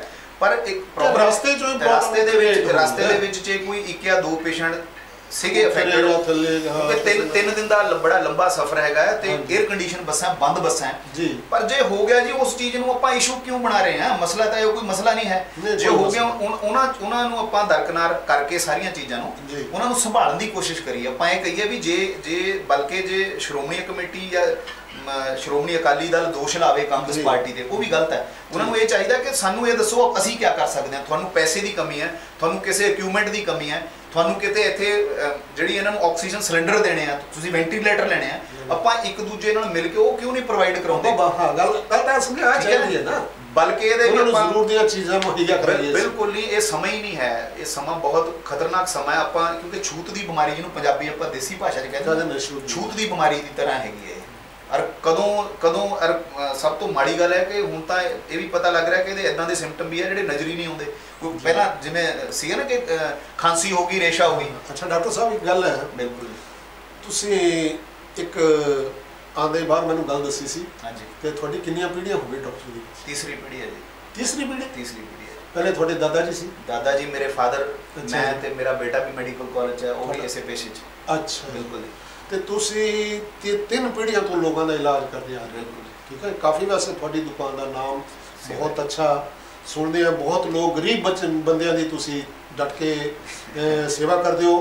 ਪੈਸੇ ਵੀ। ਨਹੀਂ ਜ਼ਿਆਦਾ ਲੈਂਦੇ ਸਾਨੂੰ ਕਰਨਾ ਚ ਵੀ ਪੈਂਦਾ। ਕੋਸ਼ਿਸ਼ ਫਿਰ ਥੋੜੇ ਜਿਹਾ ਪੈਸਾ ਜੇ ਤੁਸੀਂ ਉਹਨਾਂ ਦੀ ਬਿਮਾਰੀ ਦੂਰ ਕਰ ਦਿਓ। ਕੋਸ਼ਿਸ਼ ਕਰੀਏ। ਤੇ ਤੁਹਾਡਾ ਇਸ ਬਿਮਾਰੀ ਬਾਰੇ ਕੀ ਖਿਆਲ ਹੈ ਦੇਖੋ ਮੈਂ ਪਹਿਲੇ ਜਿਵੇਂ ਤੁਹਾਨੂੰ ਦੱਸ ਕੇ ਹਟਿਆ ਕਿ ਜੇ ਆਪਾਂ ਆਪਣੇ ਮੈਂ ਆਪਣੇ profession ਦੇ ਤੌਰ ਤੇ ਗੱਲ ਕਰਾਂ ਨਾ ਜੀ। ਤਾਂ ਇਹ ਬਿਮਾਰੀ ਬਾਕੀ ਬਹੁਤ ਜ਼ਿਆਦਾ ਖਤਰਨਾਕ ਹੈ ਕਿਉਂਕਿ ਇਹਦਾ ਨਾ ਫਿਲਹਾਲ ਕੋਈ ਦੇਖੋ ਇਲਾਜ ਨਹੀਂ ਹੈ। ਇਲਾਜ ਨਹੀਂ ਅੱਛਾ। ਅੱਛਾ ਇੱਕ ਮੈਂ ਇੱਕ ਹੋਰ ਇੱਥੇ ਗੱਲ ਐਡ ਕਰਨੀ ਚਾਹੁੰਦਾ ਹਾਂ। ਕਿ ਲੋਕਾਂ ਨੂੰ ਅਵੇਅਰ ਕਰਨ ਦੀ ਜ਼ਰੂਰਤ ਹੈ। ਬਹੁਤ ਮੈਂ ਲੋਕ ਇਹ ਦੇਖਿਆ ਕਿ ਵੀਡੀਓ ਬਣਾ ਬਣਾ ਕੇ ਪਾ ਰਹੇ ਨੇ ਅੰਦਰੋਂ। ਕਿ ਜੀ ਜਦੋਂ ਇਲਾਜ ਹੀ ਨਹੀਂ ਹੈਗਾ ਸਾਨੂੰ ਬਿਠਾਇਆ ਕਿਉਂ ਹੈ? ਅੱਛਾ ਜੀ। ਮੈਂ ਉਹਨਾਂ ਵੀਰਾਂ ਨੂੰ ਵੀ ਇਹ ਕਹਿਣਾ ਚਾਹੁੰਦਾ ਕਿ ਤੁਸੀਂ ਡਾਕਟਰਾਂ ਨੇ ਤੁਹਾਡੇ ਵਾਸਤੇ ਆਪਣੀ ਜਾਨ ਦਾਤੇ ਲਾਈ ਹੋਈ ਹੈ। ਆਪਾਂ ਇਹ ਸ਼ਬਦ ਨਹੀਂ ਵਰਤ ਸਕਦੇ ਕਿ ਇਹਦਾ ਇਲਾਜ ਨਹੀਂ ਹੈਗਾ ਪਰ ਇਹਦੇ ਨਾਲ ਹੋਣ ਵਾਲੀਆਂ ਪ੍ਰੋਬਲਮਾਂ ਦਾ ਇਲਾਜ ਹੈਗਾ। ਜਿਵੇਂ ਜਦੋਂ ਜਦੋਂ ਇਹ ਬਿਮਾਰੀ ਹੁੰਦੀ ਹੈ ਜਦੋਂ ਇਹ ਪੀਕ ਤੇ ਹੁੰਦੀ ਹੈ ਪੂਰੇ ਚੜ੍ਹਾਅ ਤੇ ਬਿਮਾਰੀ ਹੁੰਦੀ ਹੈ ਉਦੋਂ ਸਾਹ ਦੀ ਤਕਲੀਫ ਹੁੰਦੀ ਹੈ। ਜੀ। ਉਦੋਂ ਗਲ ਦੇ ਵਿੱਚ ਕਫ ਜੰਮ ਹੋ ਜਾਂਦੀ ਹੈ। ਹਾਂਜੀ ਉਦੋਂ ਬੁਖਾਰ ਆਉਂਦਾ ਉਹਨਾਂ ਚੀਜ਼ਾਂ ਨੂੰ ਡਾਕਟਰ ਲੋਕ ਕੰਟਰੋਲ ਕਰਦੇ ਆ ਦਵਾਈਆਂ ਦਿੰਦੇ ਆ। ਆਪਾਂ ਇਹ ਨਹੀਂ ਕਹਿ ਸਕਦੇ ਕਿ ਜੀ ਇਹ ਇਸ ਬਿਮਾਰੀ ਦਾ ਤਾਂ ਇਲਾਜ ਨਹੀਂ ਫਿਰ ਬਚਦੇ ਕਿਵੇਂ ਆ ਲੋਕ? ਭਾਵੇਂ ਤੁਹਾਨੂੰ ਹੀਟ ਦੇਣੀ ਆ ਭਾਵੇਂ ਤੁਹਾਨੂੰ ਭਾਫ ਦੇਣੀ ਆ। ਇਹਨੇ ਅਖਬਾਰਾਂ ਚ ਵੀ ਆ। ਬਿਲਕੁਲ। ਉਹ ਉਹ ਆ- ਆ- ਆਖਰ ਉਹ ਡਾਕਟਰਾਂ ਨਹੀਂ ਦੇਣੀ ਆ ਨਾ। ਜੀ। ਆਪਾਂ ਇਹ ਨਹੀਂ ਕਹਿ ਸਕਦੇ ਕਿ ਜੇ ਮੈਨੂੰ ਕਰੋਨਾ ਹੋਇਆ ਮੈਂ ਘਰੇ ਬੈਠ ਕੇ ਫਿਰ ਗਰਮ ਪਾਣੀ ਪੀ ਲਾਂ ਮੈਂ। ਇਹ। ਬਿਲਕੁਲ ਗਲਤ ਹੈ। ਔਰ ਆਪਾਂ ਇਹ ਵੀ ਨਹੀਂ ਕਹਿ ਸਕਦੇ ਕਿ ਇਹਦਾ ਇਲਾਜ ਨਹੀਂ ਹੈਗਾ ਇਲਾਜ ਇਲਾਜ ਹੈਗਾ ਇਲਾਜ ਦਾ ਸੰਭਾਲ ਇਲਾਜ ਹੈ। ਉਹ ਡਾਕਟਰ ਤੁਹਾਨੂੰ ਇਲਾਜ ਦੇਣ ਤੋਂ ਬਾਅਦ ਹੀ ਠੀਕ ਕਰਦੇ ਆ ਨਾ। ਆਪਾਂ ਇਹ ਨਹੀਂ ਕਹਿ ਸਕਦੇ ਕਿ ਇਸ ਚੀਜ਼ ਦਾ ਇਲਾਜ ਨਹੀਂ ਹੈਗਾ ਇਲਾਜ ਦੇਣ ਨਾਲ ਹੀ ਠੀਕ ਹੁੰਦਾ ਹੈ ਪਰ ਇਹ ਹੈਗੇ ਪਰਮਾਨੈਂਟ ਸੋਲੂਸ਼ਨ ਇਸ ਤਰ੍ਹਾਂ ਦੀ ਕੋਈ ਦਵਾਈ ਨਹੀਂ ਹੈਗੀ ਕਿ ਇਸ ਬੰਦੇ ਨੂੰ ਕਰੋਨਾ ਹੋਇਆ ਤਾਂ ਆਹ ਗੋਲੀ ਜਾ ਕੇ ਦੇ ਦਿਓ। ਤੇ ਕਰੋਨਾ ਦੂਜੇ ਦਿਨ ਠੀਕ ਹੋ ਜਾਊਗਾ ਇਹ ਇਹ ਗੱਲ ਨਹੀਂ ਹੈ ਤਾਂ ਨਹੀਂ ਹੈ ਪਰ ਉਸ ਮਰੀਜ਼ ਦੀ ਸੰਭਾਲ ਸਿਰਫ ਡਾਕਟਰ ਹੀ ਕਰ ਸਕਦੇ ਆ। ਤੇ ਤੁਹਾਨੂੰ ਆਪਣੇ ਆਪ ਨੂੰ ਡਾਕਟਰਾਂ ਦੇ ਸਪੁਰਦ ਕਰ ਦੇਣਾ ਚਾਹੀਦਾ ਹੈ ਕਿ ਮੈਂ ਪੋਜ਼ਿਟਿਵ ਹਾਂ ਮੈਨੂੰ ਚੈੱਕ ਕੀਤਾ ਜਾਵੇ ਜੇ ਮੈਂ ਪੋਜ਼ਿਟਿਵ ਹੈਗਾ ਤਾਂ ਮੇਰਾ ਇਲਾਜ ਕੀਤਾ ਜਾਵੇ ਔਰ ਔਰ ਸ਼ੋਰ ਹੈ ਕਿ 90 90 ਸਾਲ ਦੇ ਬੰਦਿਆਂ ਦੀ ਜਾਨ ਬਚੀ ਹੈ ਡਾਕਟਰਾਂ ਦੀ ਮਿਹਨਤ ਦੇ ਨਾਲ। ਠੀਕ ਠੀਕ ਉਹ ਗਾਊਨ ਪਾ ਕੇ ਉਹ ਪੀਪੀ ਕਿੱਟ ਪਾ ਕੇ ਆਪਣੀ ਜਾਨ ਹਥੇਲੀ ਤੇ ਲਾ ਕੇ ਤੁਹਾਡੇ ਸਰਾਣੇ ਬੈਠੇ ਆ। ਤਾਂ ਉਹਨਾਂ ਦੇ ਵੀ ਆਪਣੇ ਆਪਣੇ ਪਰਿਵਾਰ ਆ ਆਪਣੇ ਬੱਚੇ ਆ ਥੋੜਾ ਜਿਹਾ ਉਹਨਾਂ ਤੇ ਰਹਿਮ ਕਰੋ ਔਰ ਆਪਣੇ ਆਪ ਨੂੰ ਆਪਣੇ ਆਪ ਨੂੰ ਖੁਦ ਬਾਹਰ ਕੱਢ ਕੇ ਦੱਸੋ ਕਿ ਮੇਰੀ ਪ੍ਰੋਬਲਮ ਮੈਨੂੰ ਲੱਗਦਾ ਹੈ ਮੈਨੂੰ ਇਹ ਪ੍ਰੋਬਲਮ ਹੈ ਮੈਨੂੰ ਚੈੱਕ ਕੀਤਾ ਜਾਵੇ। ਇਹ ਤਾਂ ਲੋਕ ਹੀ ਦੱਸਣਗੇ ਨਾ ਕਿ ਜਿਹਨਾਂ ਨੂੰ ਕੋਈ ਛੋਟੀ ਮੋਟੀ। ਪ੍ਰੋਬਲਮ ਆਉਂਦੀ ਜਾਂ ਕੁਝ ਵੀ ਹੈ ਲੱਗਦਾ ਹੈ ਕਿ ਮੈਂ ਬਾਹਰ ਜਾ ਰਿਹਾ ਹਾਂ ਮੈਂ। ਕਿਸੇ ਐਦਾਂ ਦੇ ਬੰਦੇ ਦੇ ਸੰਪਰਕ ਚ ਆ ਰਿਹਾ ਜਿਹਦਾ ਮੇਰੇ ਘਰ ਨਹੀਂ ਪਤਾ ਜਾਂ ਪ੍ਰਸ਼ਾਸਨ ਨੂੰ ਨਹੀਂ ਪਤਾ ਹਾਲਾਂਕਿ ਡਿਸਟ੍ਰਿਕਟ ਪੂਰੇ ਜਾਮ ਕੀਤੇ ਹੋਏ ਆ ਸਰਕਾਰ ਨੇ। ਇੱਕ ਦੂਜੇ ਜ਼ਿਲ੍ਹੇ ਚ ਜਾਣਾ ਔਖਾ ਪਰ ਮੈਂ ਅਸੀਂ ਦੇਖਦੇ ਹਾਂ ਕਿ ਦੂਜਿਆਂ ਪੁੱਠੇ ਸਿੱਧੇ ਰਸਤਿਆਂ ਤੋਂ ਕੱਚੇ ਰਸਤਿਆਂ ਤੋਂ ਲੋਕ ਲੋਕ ਇਸਤੇਮਾਲ। ਨਹੀਂ ਲੋਕ ਹਟਦੇ ਨਹੀਂ ਹਟਦੇ ਵਕਤ ਪਰ ਜੇ ਇਸ ਤਰ੍ਹਾਂ ਦੀ ਕਿਤੇ ਪ੍ਰੋਬਲਮ ਲੱਗਦੀ ਹੈ ਤਾਂ ਸਿੱਧਾ ਤੁਸੀਂ ਸਰਕਾਰੀ ਹਸਪੀਟਲ ਜਾ ਕੇ ਆਪਣੇ ਆਪ ਨੂੰ ਚੈੱਕ ਕਰਾਓ ਔਰ ਸਰਕਾਰ ਬੈਠੀ ਆ, ਉਹ ਡਾਕਟਰ ਬੈਠੇ ਨੇ ਉੱਥੇ। ਕੋਈ ਜਵਾਬ ਨਹੀਂ ਦੇ ਰਿਹਾ। ਬਹੁਤ ਵਧੀਆ, ਮਾਸ਼ਾਅੱਲਾ, ਟੀਮ ਹੈ ਸਾਡੀ ਰੋਪੜ ਦੀ, ਜਿਹੜੀ ਸੰਭਾਲ ਰਹੀ ਹੈ। ਸੋ, ਮੇਰੀ ਇਹੀ ਬੇਨਤੀ ਹੈ ਕਿ ਆਪਾਂ ਪੰਜਾਬ ਨੂੰ ਸੰਭਾਲੀਏ, ਆਪਣੇ ਜ਼ਿਲ੍ਹੇ ਨੂੰ ਸੰਭਾਲੀਏ, ਆਪਣੇ ਮੁਲਕ ਨੂੰ ਸੰਭਾਲੀਏ, ਕਿਉਂਕਿ ਆਉਣ ਵਾਲੀਆਂ ਪੀੜ੍ਹੀਆਂ ਨੇ ਤੁਹਾਨੂੰ ਅਦਰਵਾਈਜ਼ ਬਹੁਤ ਮੰਦਾ ਚੰਗਾ ਬੋਲਣਾ ਹੈ, ਕਿਉਂਕਿ ਬੜਾ ਮਾੜਾ ਸਮਾਂ ਹੈ। ਜੇ ਅੱਜ ਆਪਾਂ ਸੰਭਾਲ ਨਾ ਨਾ ਸਕੇ ਤਾਂ ਇਹ ਬਿਮਾਰੀ ਬਹੁਤ ਜ਼ਿਆਦਾ ਬੁਰੇ ਢੰਗ ਨਾਲ ਇਹਨੇ ਅਸਰ ਕਰਨਾ ਹੈ ਸਾਡੇ ਸਮਾਜ ਤੇ ਗੱਲ ਬਹੁਤ ਵਧੀਆ ਕਿ ਇਸ ਸਮੇਂ ਰਾਜਨੀਤੀ ਨਾ ਕੀਤੀ ਜਾਵੇ। ਰਾਜਨੀਤੀ ਨਾ ਕੀਤੀ ਜਾਵੇ ਬਿਲਕੁਲ। ਆਪਾਂ ਇਸੇ ਸਮਾਜ ਦਾ ਇਨਸਾਨੀਅਤ ਪੈਦਾ ਕੀਤੀ ਜਾਵੇ। ਬਿਲਕੁਲ ਬੇਨਤੀ ਹੈ। ਬਹੁਤ ਬਹੁਤ ਬਹੁਤ ਇਹਨਾਂ ਦੇ ਚਰਨਾਂ 'ਚ ਬੇਨਤੀ ਹੈ ਕਾਂਗਰਸੀਆਂ ਦੇ ਅਕਾਲੀਆਂ ਦੇ ਕਿ ਇਸ ਮੁੱਦੇ ਨੂੰ ਬਾਰ-ਬਾਰ ਨਾ ਉਛਾਲਿਆ ਜਾਵੇ। ਬਹੁਤ ਸੋਹਣਾ ਸਾਡੇ ਪੰਜਾਬ ਦਾ ਮਾਹੌਲ ਹੈ। ਇਸ ਇਸ ਮੁੱਦਿਆਂ ਨੂੰ ਗਰਮ ਨਾ ਕਰੋ ਤੁਸੀਂ। ਮੁੱਦਾ ਇਹ ਗਰਮ ਕਰਨ ਵਾਲਾ ਕਿ ਆਪਾਂ ਇਹਨਾਂ ਲੋਕਾਂ ਦੀ ਜਾਨ ਕਿਵੇਂ ਬਚਾਉਣੀ ਨਾਲੇ ਕਹਿੰਦੇ ਜੀ ਅਰਦਾਸ 'ਚ ਬੜੀ ਪਾਵਰ ਹੈ ਬਿਲਕੁਲ ਜੀ ਅਰਦਾਸ 'ਚ ਬੜੀ ਪਾਵਰ ਹੈ ਮੈਂ ਤਾਂ ਪਹਿਲਾਂ ਹੀ ਕਹਿ ਕੇ ਹਟਿਆ ਕਿ ਇਹ ਦਸਵੇਂ ਪਾਤਸ਼ਾਹ ਦੀ ਚਰਨ ਛੋਹ ਪ੍ਰਾਪਤ ਧਰਤੀ ਹੈ ਸ਼੍ਰੀ ਅਨੰਦਪੁਰ ਸਾਹਿਬ ਤੋਂ ਲੈ ਕੇ ਚਮਕੌਰ ਸਾਹਿਬ ਤੱਕ ਦਾ ਜਿਹੜਾ ਏਰੀਆ ਜੀ ਇਹ ਬੜਾ ਪਵਿੱਤਰ ਏਰੀਆ ਹੈ। ਇੱਥੇ ਇੱਥੇ ਸਾਲ। ਮੈਂ ਕਿਹਾ ਜੀ ਤੁਸੀਂ ਇੱਕ ਰੋਹਾਨੀਅਤ ਨਾਲ ਭਰਿਆ ਹੋਇਆ ਇਹ। ਏਰੀਆ ਹੈਗਾ ਇਸ ਹਵਾਵਾਂ ਦੇ ਵਿੱਚ ਇਹਨਾਂ ਹਵਾਵਾਂ ਦੇ ਵਿੱਚ ਉਹਨਾਂ ਦੇ ਪਰਿਵਾਰ ਦੀ ਚਰਨਾਂ ਦੀ ਧੂੜ ਹੈ ਅਸੀਂ ਤਾਂ ਇਸ ਬੜੇ area 'ਚ- ਭਾਗਸ਼ਾਲੀ ਹਾਂ ਮੈਂ ਅਸੀਂ। ਕਹਿੰਦਾ ਜੀ ਅਸੀਂ ਇੱਥੇ ਅਸੀਂ ਬੈਠੇ ਆ ਇੱਥੇ ਤਾਂ ਅਸੀਂ ਸੋਚਦੇ ਸਾਡੀ ਕਿਸਮਤ ਚੰਗੀ ਹੈ। ਕਿਸਮਤ 'ਚ ਬਹੁਤ ਬਹੁਤ ਵਧੀਆ ਕਿਸਮਤ ਹੈ। ਸੋ ਘੱਟ- ਘੱਟੋ ਘੱਟ ਸਾਡੇ ਸਾਡੇ ਇਲਾਕੇ ਨੂੰ ਇਹ ਲੀਡਰ ਬਖਸ਼ਣ। ਬੜਾ ਸਮਾਂ ਰਾਜਨੀਤੀ ਕਰਦਾ ਦਾ। ਬਿਲਕੁਲ ਬਿਲ- ਬਿਲਕੁਲ ਜੀ ਬਿਲਕੁਲ ਅਸੀਂ ਇਹ ਸੋਚ ਰਹੇ ਸੀਗੇ ਕਿ ਦਸਵੇਂ ਪਾਤਸ਼ਾਹ ਦੀ ਐਡੀ ਬੜੀ ਕਿਰਪਾ ਹੈ ਕਿ ਉਹ ਉਹਨਾਂ ਲੋਕਾਂ ਨੂੰ ਇੱਥੇ ਬਚਾਇਆ। ਅਦਰਵਾਈਜ਼ ਮੈਂ ਇੱਕ ਹੋਰ ਗੱਲ ਤੁਹਾਨੂੰ ਇੱਥੇ ਦੱਸਣੀ ਚਾਹਾਂਗਾ ਕਿ। ਹੋਲੇ ਦੇ ਦਿਨਾਂ ਦੇ ਵਿੱਚ ਸਾਡਾ ਇੱਕ ਕਲੱਬ ਹੈਗਾ ਲੰਗਰ ਦਾ ਇੰਤਜ਼ਾਮ ਕੀਤਾ ਹੋਇਆ ਸੀਗਾ। ਅੱਛਾ। ਜਦੋਂ ਇਹ ਰੌਲਾ ਪਿਆ ਹੈ ਕਿ ਹੋਲੇ ਦੇ ਵਿੱਚ ਉਹ ਲੋਕ ਸਨ ਜਿਹੜੇ ਪੋਜ਼ਿਟਿਵ ਆਏ ਆ ਅਸੀਂ ਖੁਦ 15 16 ਦਿਨ 20 ਦਿਨ ਉਹਨਾਂ ਮੁੰਡਿਆਂ ਨੂੰ ਜਿਹੜੇ ਸੇਵਾ ਸਾਡੇ ਸੇਵਾਦਾਰ ਕਰਦੇ ਸੀਗੇ ਸੇਵਾ ਕਰ ਰਹੇ ਸੀਗੇ ਮੈਨੂੰ ਤਾਂ ਰੌਲਾ ਹੀ ਲੱਗਿਆ ਜੀ ਇੱਕ। ਉਹਨਾਂ ਨੂੰ ਮੈਂ ਖੁਦ ਚੈੱਕ ਕਰਦਾ ਰਿਹਾ ਜੀ ਰੋਜ਼ ਘਰੇ ਬੁਲਾ ਕੇ। ਡਰ ਇੰਨਾ ਵਹਿਮ ਇੰਨਾ ਸੀਗਾ ਕਿ ਮੈਂ ਇਹਨਾਂ ਬਗਾਨੇ ਮੁੰਡਿਆਂ ਨੂੰ ਉੱਥੇ ਸੇਵਾ 'ਚ ਲੈ ਕੇ ਗਿਆ ਇਹਨਾਂ ਦੀ ਸਿਹਤ ਠੀਕ ਰਹੇ ਵਾਹਿਗੁਰੂ ਕੋਲ ਬਾਰ-ਬਾਰ ਅਰਦਾਸ ਕਰੀ। ਔਰ ਇਹ ਇੱਕ ਵਹਿਮ ਹੁੰਦਾ ਨਾ ਕਿ ਹੋਰ ਪਾਸੇ ਇਸ ਬੰਦੇ ਨੇ ਰੋਟੀ ਚਾਹੇ ਖਾਧੀ ਨਹੀਂ ਖਾਧੀ ਮੇਰੇ ਲੰਗਰ ਤੇ ਜ਼ਰੂਰ ਖਾਧੀ ਹੋਣੀ ਹੈ। ਸੋ ਇਸ ਕਰਕੇ ਉਹ ਉਹ ਬਚਾਉਂਦਾ ਉਹ ਜਗ੍ਹਾ ਜਗ੍ਹਾ ਤੇ ਬਚਾਉਂਦਾ ਬਹੁਤ ਪ੍ਰਮਾਤਮਾ ਦੀ ਕਿਰਪਾ ਹੈ। ਇੱਥੋਂ ਰੋਪੜ ਵਾਲਿਆਂ ਨੂੰ ਕੱਢ ਕੇ ਲੈ ਗਿਆ। ਜੀ। ਜਿਹੜੇ ਜਿਹੜੇ ਪੋਜ਼ਿਟਿਵ ਸੀਗੇ ਉਹ 네ਗੇਟਿਵ ਕਰਤੇ। ਆ ਤਾਂ 16 17 ਕੋਈ ਉਹਦੇ ਵਾਸਤੇ ਕੋਈ ਬੜੀ ਗੱਲ ਨਹੀਂ। ਉਹ ਜੇ ਆਪਣੀ ਆਈ ਤੇ ਆ ਜਾਵੇ ਤਾਂ ਕੁਝ ਵੀ ਕਰ ਸਕਦਾ। ਕੁਛ ਵੀ ਕਰ ਪਰ ਸਾਨੂੰ ਆਪਣੀਆਂ ਇਨਸਾਨ ਨੂੰ ਸਮਝਣ ਦੀ ਲੋੜ। ਆਪਣੀ ਆਪਣੀ ਰੂਹ ਪੋਜ਼ਿਟਿਵ ਆਪਣੀ ਰੂਹ ਜਿਹੜੀ ਹੈ ਉਹ ਉਹ ਸਹੀ ਸਾਫ਼ ਸੁਥਰੀ ਰੱਖਣੀ ਚਾਹੀਦੀ ਹੈ। ਪਰਮਾਤਮਾ ਬੰਦੇ ਦੇ ਨਾਲ ਹੈ ਕਣ ਕਣ ਦੇ ਵਿੱਚ। ਬਿਲ- ਬਿਲਕੁਲ ਕਣ ਕਣ ਦੇ ਵਿੱਚ ਬਿਰਾਜਮਾਨ ਹੈ। ਉਹ ਉਹ ਰਾਖੀ ਕਰੂਗਾ। ਸਾਨੂੰ ਸਾਨੂੰ ਬੈਠਿਆਂ ਨੂੰ ਦਿੰਦਾ ਹੈ ਰੋਟੀ ਦਿੰਦਾ ਸਾਰਾ ਕੁਝ ਦਿੰਦਾ ਹੈ। ਤੇ ਬੜੀ ਉਹਦੀ ਕਿਰਪਾ ਜਿਵੇਂ ਤੁਸੀਂ ਗੱਲ ਕਰ ਰਹੇ ਸੀਗੇ ਕਿ ਤੁਸੀਂ ਥੋੜੀ ਜਿਹੀ ਦਵਾਈ ਨਾਲ ਇਲਾਜ ਕਰਦੇ ਆ। ਇਹ ਦੇਣ ਸਾਰੀ ਉਸੇ ਦੀ ਹੈ। ਹੁਣ ਦੇਖੋ ਇਹ ਸੋਚ ਇਹ ਸੋਚ। ਜਿਹੜੀ ਹੈ ਨਾ ਜੀ ਇੱਕ ਮਿੰਟ ਦੇ ਵਿੱਚ ਉਹ ਬੰਦੇ ਦੀ ਬੁੱਧੀ ਜਿਹੜੀ ਆ ਭ੍ਰਿਸ਼ਟ ਕਰ ਦਿੰਦਾ। ਉਹਦੀ ਕਿਰਪਾ ਹੈ ਕਿ ਕਿ- ਤੁਹਾਡੀ ਬੁੱਧੀ ਸਥਿਰ ਰੱਖੇ ਤੁਹਾਡੇ 'ਚ ਸਬਰ ਰੱਖੇ ਤੁਹਾਡੇ 'ਚ ਸੰਤੋਖ ਰੱਖੇ ਉਹ ਬਿਲਕੁਲ, ਕਿ ਤੁਸੀਂ ਥੋੜੇ ਥੋੜੇ ਨਾਲ ਵੀ ਸਬਰ ਕਰ ਸਕਦੇ ਹੋ। ਤੁਹਾਡੇ 'ਚ ਇਨਸਾਨੀਅਤ ਰੱਖੇ ਵੀ ਜੇ ਕਿਸੇ ਕੋਲ ਇੱਕ ਗੱਲ ਹੈ ਦੇਖੋ ਬਹੁਤ ਵਧੀਆ ਤੁਸੀਂ ਗੱਲਾਂ ਕੀਤੀਆਂ। ਪਰ ਅੱਜ ਕੱਲ ਲੋਕਾਂ ਦੇ ਵਿੱਚ ਸਬਰ ਤਾਂ ਖਤਮ ਹੀ ਹੋ ਗਿਆ। ਨਹੀਂ ਉਹ ਸਭ ਤਰ੍ਹਾਂ ਦੀ ਦੁਨੀਆ ਪਰ ਆਪਾਂ ਨੂੰ ਜਿਹੜੇ ਜਿਹੜੇ ਲੋਕ ਸਮਾਜ ਨੂੰ ਸੇਧ ਦਿੰਦੇ ਆ ਨਾ ਜੀ। ਭਾਵੇਂ ਉਹ ਧਾਰਮਿਕ ਖੇਤੇ ਨਾਲ ਸੰਬੰਧਿਤ ਹੈ ਭਾਵੇਂ ਉਹ ਕਿਸੇ ਵਿਦਿਅਕ ਖੇਤਰ ਦੇ ਨਾਲ ਸੰਬੰਧਿਤ ਹੈ ਉਹਨਾਂ ਦਾ ਫਰਜ਼ ਬਣਦਾ ਸਾਡੇ ਲੀਡਰਾਂ ਦਾ ਫਰਜ਼ ਬਣਦਾ ਕਿ ਲੋਕਾਂ ਨੂੰ ਸਮਝਾਉਣ ਲੋਕਾਂ ਨੂੰ ਕਹਿ- ਕਹਿਣ ਨਸ਼ਿਆਂ ਤੋਂ ਦੂਰ ਰੱਖਣ। ਅੱਜ ਕੱਲ ਬੜੀ ਮੁਸ਼ਕਲ ਦੇ ਨਾਲ ਪੰਜਾਬ ਦੇ ਵਿੱਚ ਬਹੁਤ ਹੱਦ ਤੱਕ ਨਸ਼ਾ ਕੰਟਰੋਲ ਹੋਇਆ ਹੋ। ਗਿਆ ਜੀ ਬਹੁਤ ਜ਼ਿਆਦਾ। ਬਹੁਤ ਹੱਦ ਤੱਕ ਕੰਟਰੋਲ ਹੋ ਗਿਆ। ਇਹ ਇਹ ਜੇ ਆ ਆ ਮਹਾਮਾਰੀ ਲੋਕਾਂ ਦੀਆਂ ਆਦਤਾਂ ਛੁੱਟੀਆਂ ਇੱਕ ਮਹੀਨੇ ਦੇ ਵਿੱਚ। ਬਹੁਤ- ਫ਼ਰਕ ਮੈਂ। ਕਈ ਲੋਕ ਦੇਖੇ ਜਿਹੜੇ ਬੀੜੀਆਂ ਸਿਗਰਟਾਂ ਪੀਂਦੇ ਸੀ ਉਹ ਮਿਲਦੀਆਂ ਨਹੀਂ ਕਿਤੇ। ਉਹ ਬਣਾ ਰਿਹਾ ਕਰ ਕਰ ਕਹਿੰਦੇ ਨਹੀਂ ਹੁਣ ਤਾਂ ਸਾਡਾ ਦਿਲ ਨਹੀਂ ਕਰਦਾ। ਬਿਲਕੁਲ ਬਿਲਕੁਲ ਜੀ। ਉਹ ਇਹ ਕੁਦਰਤ ਕਰਾਉਂਦੀ ਹੈ ਕੁਦਰਤ ਕਰਾਉਂਦੀ ਕੁਦਰਤ ਵਾਕਿਆ। ਕੁਦਰਤ ਕਰਾਉਂਦੀ ਹੈ ਔਰ ਸਾਡਾ ਤਾਂ ਵੈਸੇ ਹੀ ਫਰਜ਼ ਬਣਦਾ ਜਿਸ ਤਰ੍ਹਾਂ ਦਾ ਸਾਡੇ ਇੱਥੋਂ ਦਾ ਧਾਰਮਿਕ ਮਾਹੌਲ ਹੈ। ਚਾਰੇ ਪਾਸੇ ਸਾਡੇ ਰੋਪੜ ਦੇ ਵਿੱਚ ਸਤਲੁਜ ਦਰਿਆ ਬੜਾ ਪਵਿੱਤਰ ਦਰਿਆ ਹੈ ਜਿੱਥੇ ਦੂਰ ਦੂਰ ਤੋਂ ਤੁਹਾਨੂੰ ਤਾਂ ਪਤਾ ਹੋਣਾ ਤੁਸੀਂ ਮੇਰੇ ਤੋਂ ਉਮਰ 'ਚ ਵੱਡੇ ਆ ਲੋਕ ਵਿਸਾਖੀ ਨੂੰ ਇੱਥੇ ਸਤਲੁਜ ਦਰਿਆ ਤੇ ਭੀੜ ਲੱਗਦੀ ਸੀ ਅਸੀਂ ਆਪਣੇ। ਬਚਪਨ 'ਚ ਦੇਖਿਆ। ਪਰ ਉਹ ਆਲੇ ਦੁਆਲੇ ਦੀਆਂ ਫੈਕਟਰੀਆਂ ਨੇ ਗੰਦਾ ਕਰਤਾ ਬੜਾ ਅੱਜ ਪਿਛਲੇ ਜਦ ਤੋਂ ਇਹ ਸਟਾਰਟ ਹੋਇਆ ਲੋਕਡਾਊਨ ਉਦੋਂ ਤੋਂ ਪਾਣੀ ਪਾਣੀ ਕਿੰਨਾ ਸਾਫ਼। ਦੇਖੋ ਤੁਸੀਂ ਦੇਖਿਆ ਹੋਣਾ ਕੁਦਰਤ ਨੇ ਪੂਰਾ ਪੂਰਾ ਸਿਸਟਮ ਆਪਣਾ ਚੇਂਜ ਕਰਤਾ? ਸਾਨੂੰ ਕੁਦਰਤ ਨੇ। ਇਨਸਾਨੀਅਤ ਨੂੰ ਥੋੜੀ ਸੋਝੀ ਬਖਸ਼ੀ ਹੈ ਥੋੜੀ ਜਿਹੀ ਬਿਲ- ਬਿਲਕੁਲ ਸਾਨੂੰ ਉਸ ਚੀਜ਼ ਦਾ ਫਾਇਦਾ ਲੈਣਾ ਚਾਹੀਦਾ। ਉਸ। ਚੀਜ਼ ਦਾ ਸਾਫ਼ ਸੁਥਰਾ ਵਾਤਾਵਰਣ ਦਿੱਤਾ ਤੁਹਾਨੂੰ ਬਲਕਿ ਸਰਕਾਰ ਨੂੰ ਚਾਹੀਦਾ ਹੈ ਕਿ ਆ ਸਰਕਾਰਾਂ ਵੀ ਦੇਖਣ ਭਾਵੇਂ ਉਹ ਪੋਲੂਸ਼ਨ ਕੰਟਰੋਲ ਬੋਰਡ ਵੀ ਦੇਖੇ। ਜੇ ਵਾਤਾਵਰਣ ਇੰਨਾ ਸ਼ੁੱਧ ਹੋ ਗਿਆ ਤੇ ਜੇ ਫੈਕਟਰੀਆਂ ਦਾ ਧੂਆਂ ਸਾਡੇ ਪੋਲੂਸ਼ਨ ਕੰਟਰੋਲ ਬੋਰਡ ਨੂੰ ਕਦੇ ਨਜ਼ਰੇ ਨਹੀਂ ਆਉਂਦਾ ਲੋਕ ਮਰ ਰਹੇ ਆ ਤੁਸੀਂ ਮਹਿਕਮੇ ਵਾਲਿਆਂ ਦੀ ਗੱਲ ਕੀਤੀ ਹੈ ਪੋਲੂਸ਼ਨ ਬੋਰਡ ਵੀ ਆ ਗਿਆ ਬਿਲਕੁਲ ਜੀ ਹੈਲਥ ਵੀ ਆ ਗਿਆ ਪੁਲਿਸ ਵੀ ਆ ਗਈ ਦੇਖੋ ਜੀ ਮੈਂ ਫਿਰ ਬੇਨਤੀ ਕਰਦਾ ਕਿ। ਕਿ ਪੁਲਿਸ ਡਿਪਾਰਟਮੈਂਟ ਤੇ ਹੈਲਥ ਡਿਪਾਰਟਮੈਂਟ ਦਾ ਤਾਂ ਲੈਣਾ ਨਹੀਂ। ਲੈਣਾ ਨਹੀਂ ਦੇ ਸਕਦੇ ਪੰਜਾਬ ਦੇ ਲੋਕ ਪਰੰਤੂ ਜਿਹੜੇ ਦੂਸਰੇ ਸਿਵਲ ਦੇ ਮਹਿਕਮੇ ਨੇ ਉਹਨਾਂ ਨੂੰ ਬਾਹਰ ਕੱਢਿਆ ਜਾਵੇ ਉਹਨਾਂ ਨੂੰ ਪੂਰਾ ਲੈਸ ਕਰਕੇ ਉਹਨਾਂ ਨੂੰ ਹਥਿਆਰ ਦੇ ਕੇ ਕਿ ਗਲਵਜ਼ ਦਿੱਤੇ ਸੈਨੀਟਾਈਜ਼ਰ ਦਿੱਤੇ ਮਾਸਕ ਦਿੱਤੇ ਤੁਸੀਂ ਫੀਲਡ 'ਚ ਜਾ ਕੇ ਲੋਕਾਂ ਦੀ ਸੇਵਾ ਕਰੋ ਇਹਨਾਂ ਉਹਨਾਂ ਦੋ ਮਹਿਕਮਿਆਂ ਨੂੰ ਥੋੜਾ ਥੋੜਾ ਜਿਹਾ ਆਰਾਮ ਮਿਲ ਜਾਏ। ਬੜਾ ਲੰਬਾ ਸਮਾਂ ਹੋ ਗਿਆ। ਮੈਂ ਮੈਂ ਬੜੇ ਪੁਲਿਸ ਮੁਲਾਜ਼ਮਾਂ ਨੂੰ ਦੇਖਿਆ 10-10 ਦਿਨ ਤੋਂ ਆਪਦੇ ਘਰੇ ਨਹੀਂ ਗਏ। ਉਹਨਾਂ ਦੇ ਵੀ ਪਰਿਵਾਰ ਨੇ ਉਹਨਾਂ ਦੇ ਵੀ ਬੱਚੇ ਨੇ। ਤੁਸੀਂ YouTube ਤੇ ਮੈਂ ਤੁਹਾਡੇ ਚੈਨਲ 'ਚ ਸਾਡੇ ਬੱਗਾ ਜੀ ਬੜੀ ਮਿਹਨਤ ਕਰਦੇ ਨੇ। ਇਹਨਾਂ ਨੇ ਵੀ ਇੱਕ ਦਿਨ ਮੇਰੀ ਕਿਸੇ ਪੁਲਿਸ ਮੁਲਾਜ਼ਮ ਦੀ ਮੈਨੂੰ ਵੀਡੀਓ ਦਿਖਾਈ। ਉਹਦੇ ਘਰ ਦੇ ਉਹਦੀ ਰੋਟੀ ਜਿਹੜੀ ਨਾ ਜੀ ਉਹਦੇ ਬਾਹਰ ਦੇਲੀ ਤੇ ਰੱਖਤੀ। ਕਿ ਖਾ ਕੇ ਆਪਦਾ ਵਾਪਸ ਮੁੜ ਜਾ ਤੂੰ। ਉਹ ਅੰਦਰ ਆਪਣੇ ਉਹ ਡਰਦਾ ਆਪਣੇ ਕੱਪੜਿਆਂ ਤੋਂ ਆਪਣੇ। ਸਰੀਰ ਤੋਂ ਆਪਣੇ ਬੱਚਿਆਂ ਕੋਲ ਨਹੀਂ ਜਾ ਰਿਹਾ। ਸੋ ਇਹਨਾਂ ਇਹਨਾਂ ਲੋਕਾਂ ਦਾ ਕਿੱਥੇ ਆਪਾਂ ਲੈਣਾ ਦੇ ਦਾਂਗੇ ਜੀ? ਇਹਨਾਂ ਲੋਕਾਂ ਨੂੰ ਥੋੜਾ ਜਿਹਾ ਰੈਸਟ ਦੇਣ ਵਾਸਤੇ ਕੋਈ ਨਾ। ਕੋਈ ਮਹਿਕਮਾ ਇਹਨਾਂ ਦੇ ਨਾਲ ਅਟੈਚ ਕਰੋ ਤਾਂ ਕਿ ਇਹਨਾਂ ਨੂੰ ਇਹਨਾਂ ਨੂੰ ਥੋੜਾ ਆਰਾਮ ਮਿਲ ਸਕੇ। ਦੇਖੋ ਜਿਹੜੇ ਕਰਮਚਾਰੀ ਬੈਠੇ ਆ ਉਹਨਾਂ ਨੂੰ ਆਪ ਚਾਹੀਦਾ ਕਿ ਐਦਾਂ ਦੀ ਔਖੀ ਘੜੀ ਦੇ ਵਿੱਚ ਅਸੀਂ ਆਪ ਅੱਗੇ ਹੋ ਕੇ ਲੋਕਾਂ ਦੀ ਮਦਦ ਕਰੀਏ। ਸਮਾਜ ਸੇਵੀ ਜਥੇਬੰਦੀਆਂ ਯੂਥ ਕਲੱਬ ਇਹ ਲੱਗੇ ਹੋਏ ਨੇ। ਪਰ ਦੇਖੋ ਸਰਕਾਰੀ ਮਹਿਕਮੇ ਨੇ ਇਹਨਾਂ ਦਾ ਫਰਜ਼ ਬਣਦਾ ਹੈ। ਸਰਕਾਰ ਨੂੰ। ਸਰਕਾਰ ਨੂੰ ਸਾਡੀ ਬੇਨਤੀ ਹੈ ਕਿ ਸਾਡੀ ਕੋਈ ਮੈਂ ਕੋਈ ਖਹਿਬਾਜੀ ਚ ਜਾਂ ਜਿੱਦਬਾਜੀ ਚ ਨਹੀਂ ਕਹਿ ਰਿਹਾ ਪਰ ਇਹਨਾਂ ਇਹਨਾਂ- ਰਹੇ ਨੂੰ ਕੰਮ ਲਾਓ ਇਹਨਾਂ ਨੂੰ ਨਾਲ ਕੰਮ ਲਾਓ ਠੀਕ ਹੈ ਤੇ ਇਹਨਾਂ ਜਿਹੜੇ ਮਹਿਕਮਿਆਂ ਨੇ ਉਹਨਾਂ ਨੂੰ ਸਲਾਮ ਹੈ ਜਿਹੜੇ ਮਹਿਕਮਿਆਂ ਨੇ ਆਪਣੀ ਅੱਧੀਆਂ ਤਨਖਾਹਾਂ ਇੱਕ ਮਹੀਨੇ ਦੀਆਂ ਤਨਖਾਹਾਂ ਦਿੱਤੀਆਂ। ਪਰ ਜਿਨ੍ਹਾਂ ਨੇ ਨਹੀਂ ਦਿੱਤੀਆਂ ਉਹ ਵੀ ਥੋੜਾ ਕੰਟਰੀਬਿਊਟ ਕਰਨ ਵਿੱਚ ਬੇਨਤੀ ਹੈ ਹਾਂ, ਥੋੜਾ ਥੋੜਾ ਬਹੁਤਾ ਆਪਣਾ ਹਿੱਸਾ ਪਾਉਣ ਕਿਉਂਕਿ ਜਿਹੜਾ ਸਾਡਾ ਮੱਧ ਵਰਗੀ ਸਮਾਜ ਹੈ ਨਾ ਜੀ ਉਹ ਪਿਸ ਰਿਹਾ ਬੜੇ ਪਿਸ ਬੁਰੇ ਰਿਹਾ। ਬੁਰੀ ਬੁਰੀ ਤਰ੍ਹਾਂ ਨਾਲ ਪਿਸਿਆ ਹਾਂ ਇੰਨਾ ਇੰਨਾ ਲੰਬਾ ਸਮਾਂ ਨਹੀਂ ਕੱਢਿਆ ਜਾਂਦਾ ਬੜਾ ਲੋਕਾਂ ਨੇ ਅਦਰਵਾਈਜ਼ ਹੁੰਦਾ ਇਹ ਹੈ ਜੀ ਕਿ ਕ੍ਰਾਈਮ ਵੱਧਦਾ ਉਹ ਤੋਂ ਬਾਅਦ ਫਿਰ। ਲੁੱਟਾਂ ਖੋਹਾਂ ਵੱਧਦੀਆਂ ਉਹ ਤੋਂ ਬਾਅਦ ਲੋਕਾਂ ਨੇ ਆਪਣੀ ਭੁੱਖ ਮਿਟਾਉਣ ਵਾਸਤੇ ਕੁਝ ਵੀ ਕਰਨ ਨੂੰ ਤਿਆਰ ਹੋਣਾ। ਉੱਥੇ ਤੱਕ ਨੌਬਤ ਨਾ ਆਵੇ ਜੇ ਆਪਾਂ ਨੂੰ ਇਸ ਤਰਾਸਦੀ ਨੂੰ ਝੇਲਣ ਵਾਸਤੇ ਥੋੜਾ ਲੰਬਾ ਟਾਈਮ ਵੀ ਲਾਉਣਾ ਪੈ ਜਾਵੇ ਤਾਂ ਲੋਕਾਂ ਕੋਲ ਥੋੜੀ ਆਰਥਿਕ ਸਥਿਤੀ ਉਹਨਾਂ ਦੀ ਠੀਕ ਠਾਕ ਰਹੇ ਤਾਂ ਕਿ ਪੇਟ 'ਚ ਰੋਟੀ ਜ਼ਰੂਰ ਪੈਂਦੀ ਰਹੇ। ਤਨ ਤੇ ਕੱਪੜਾ ਰਹੇ। ਉਹਦੇ ਵਾਸਤੇ ਸਾਨੂੰ ਸਾਰਿਆਂ ਨੂੰ ਮਿਲ ਕੇ ਉਹ ਐਫਰਟ ਕਰਨੀ ਪੈਣੀ ਹੈ। ਉਹ ਭਾਵੇਂ ਸਰਕਾਰੀ ਮੁਲਾਜ਼ਮ ਹੈ ਭਾਵੇਂ ਕੋਈ ਜਥੇਬੰਦੀਆਂ ਸਾਡੀਆਂ ਭਾਵੇਂ ਸਰਕਾਰ ਹੈ। ਬਿਲਕੁਲ ਬਿਲਕੁਲ ਜੀ। ਤੋ ਡਾਕਟਰ ਸਾਹਿਬ ਤੁਹਾਡਾ ਬਹੁਤ ਬਹੁਤ ਧੰਨਵਾਦ। ਤੁਹਾਡਾ ਵੀ ਬਹੁਤ ਬਹੁਤ ਧੰਨਵਾਦ ਤੁਹਾਡਾ ਰੋਪੜ ਟੀਵੀ ਦਾ ਤੁਹਾਡਾ ਤੇ ਸਾਡੇ ਵਿਸ਼ੇਸ਼ਕਾਰ ਜਿਹੜੇ ਬੜੇ ਮਿਹਨਤ ਕਰ ਰਹੇ ਨੇ, ਤੁਹਾਡੀ ਪੂਰੀ ਟੀਮ, ਬੱਗਾ ਜੀ, ਤੁਹਾਡਾ ਵੀ ਬਹੁਤ ਬਹੁਤ ਧੰਨਵਾਦ, ਸ਼ੁਕਰੀਆ। ਜੈ ਹਿੰਦ।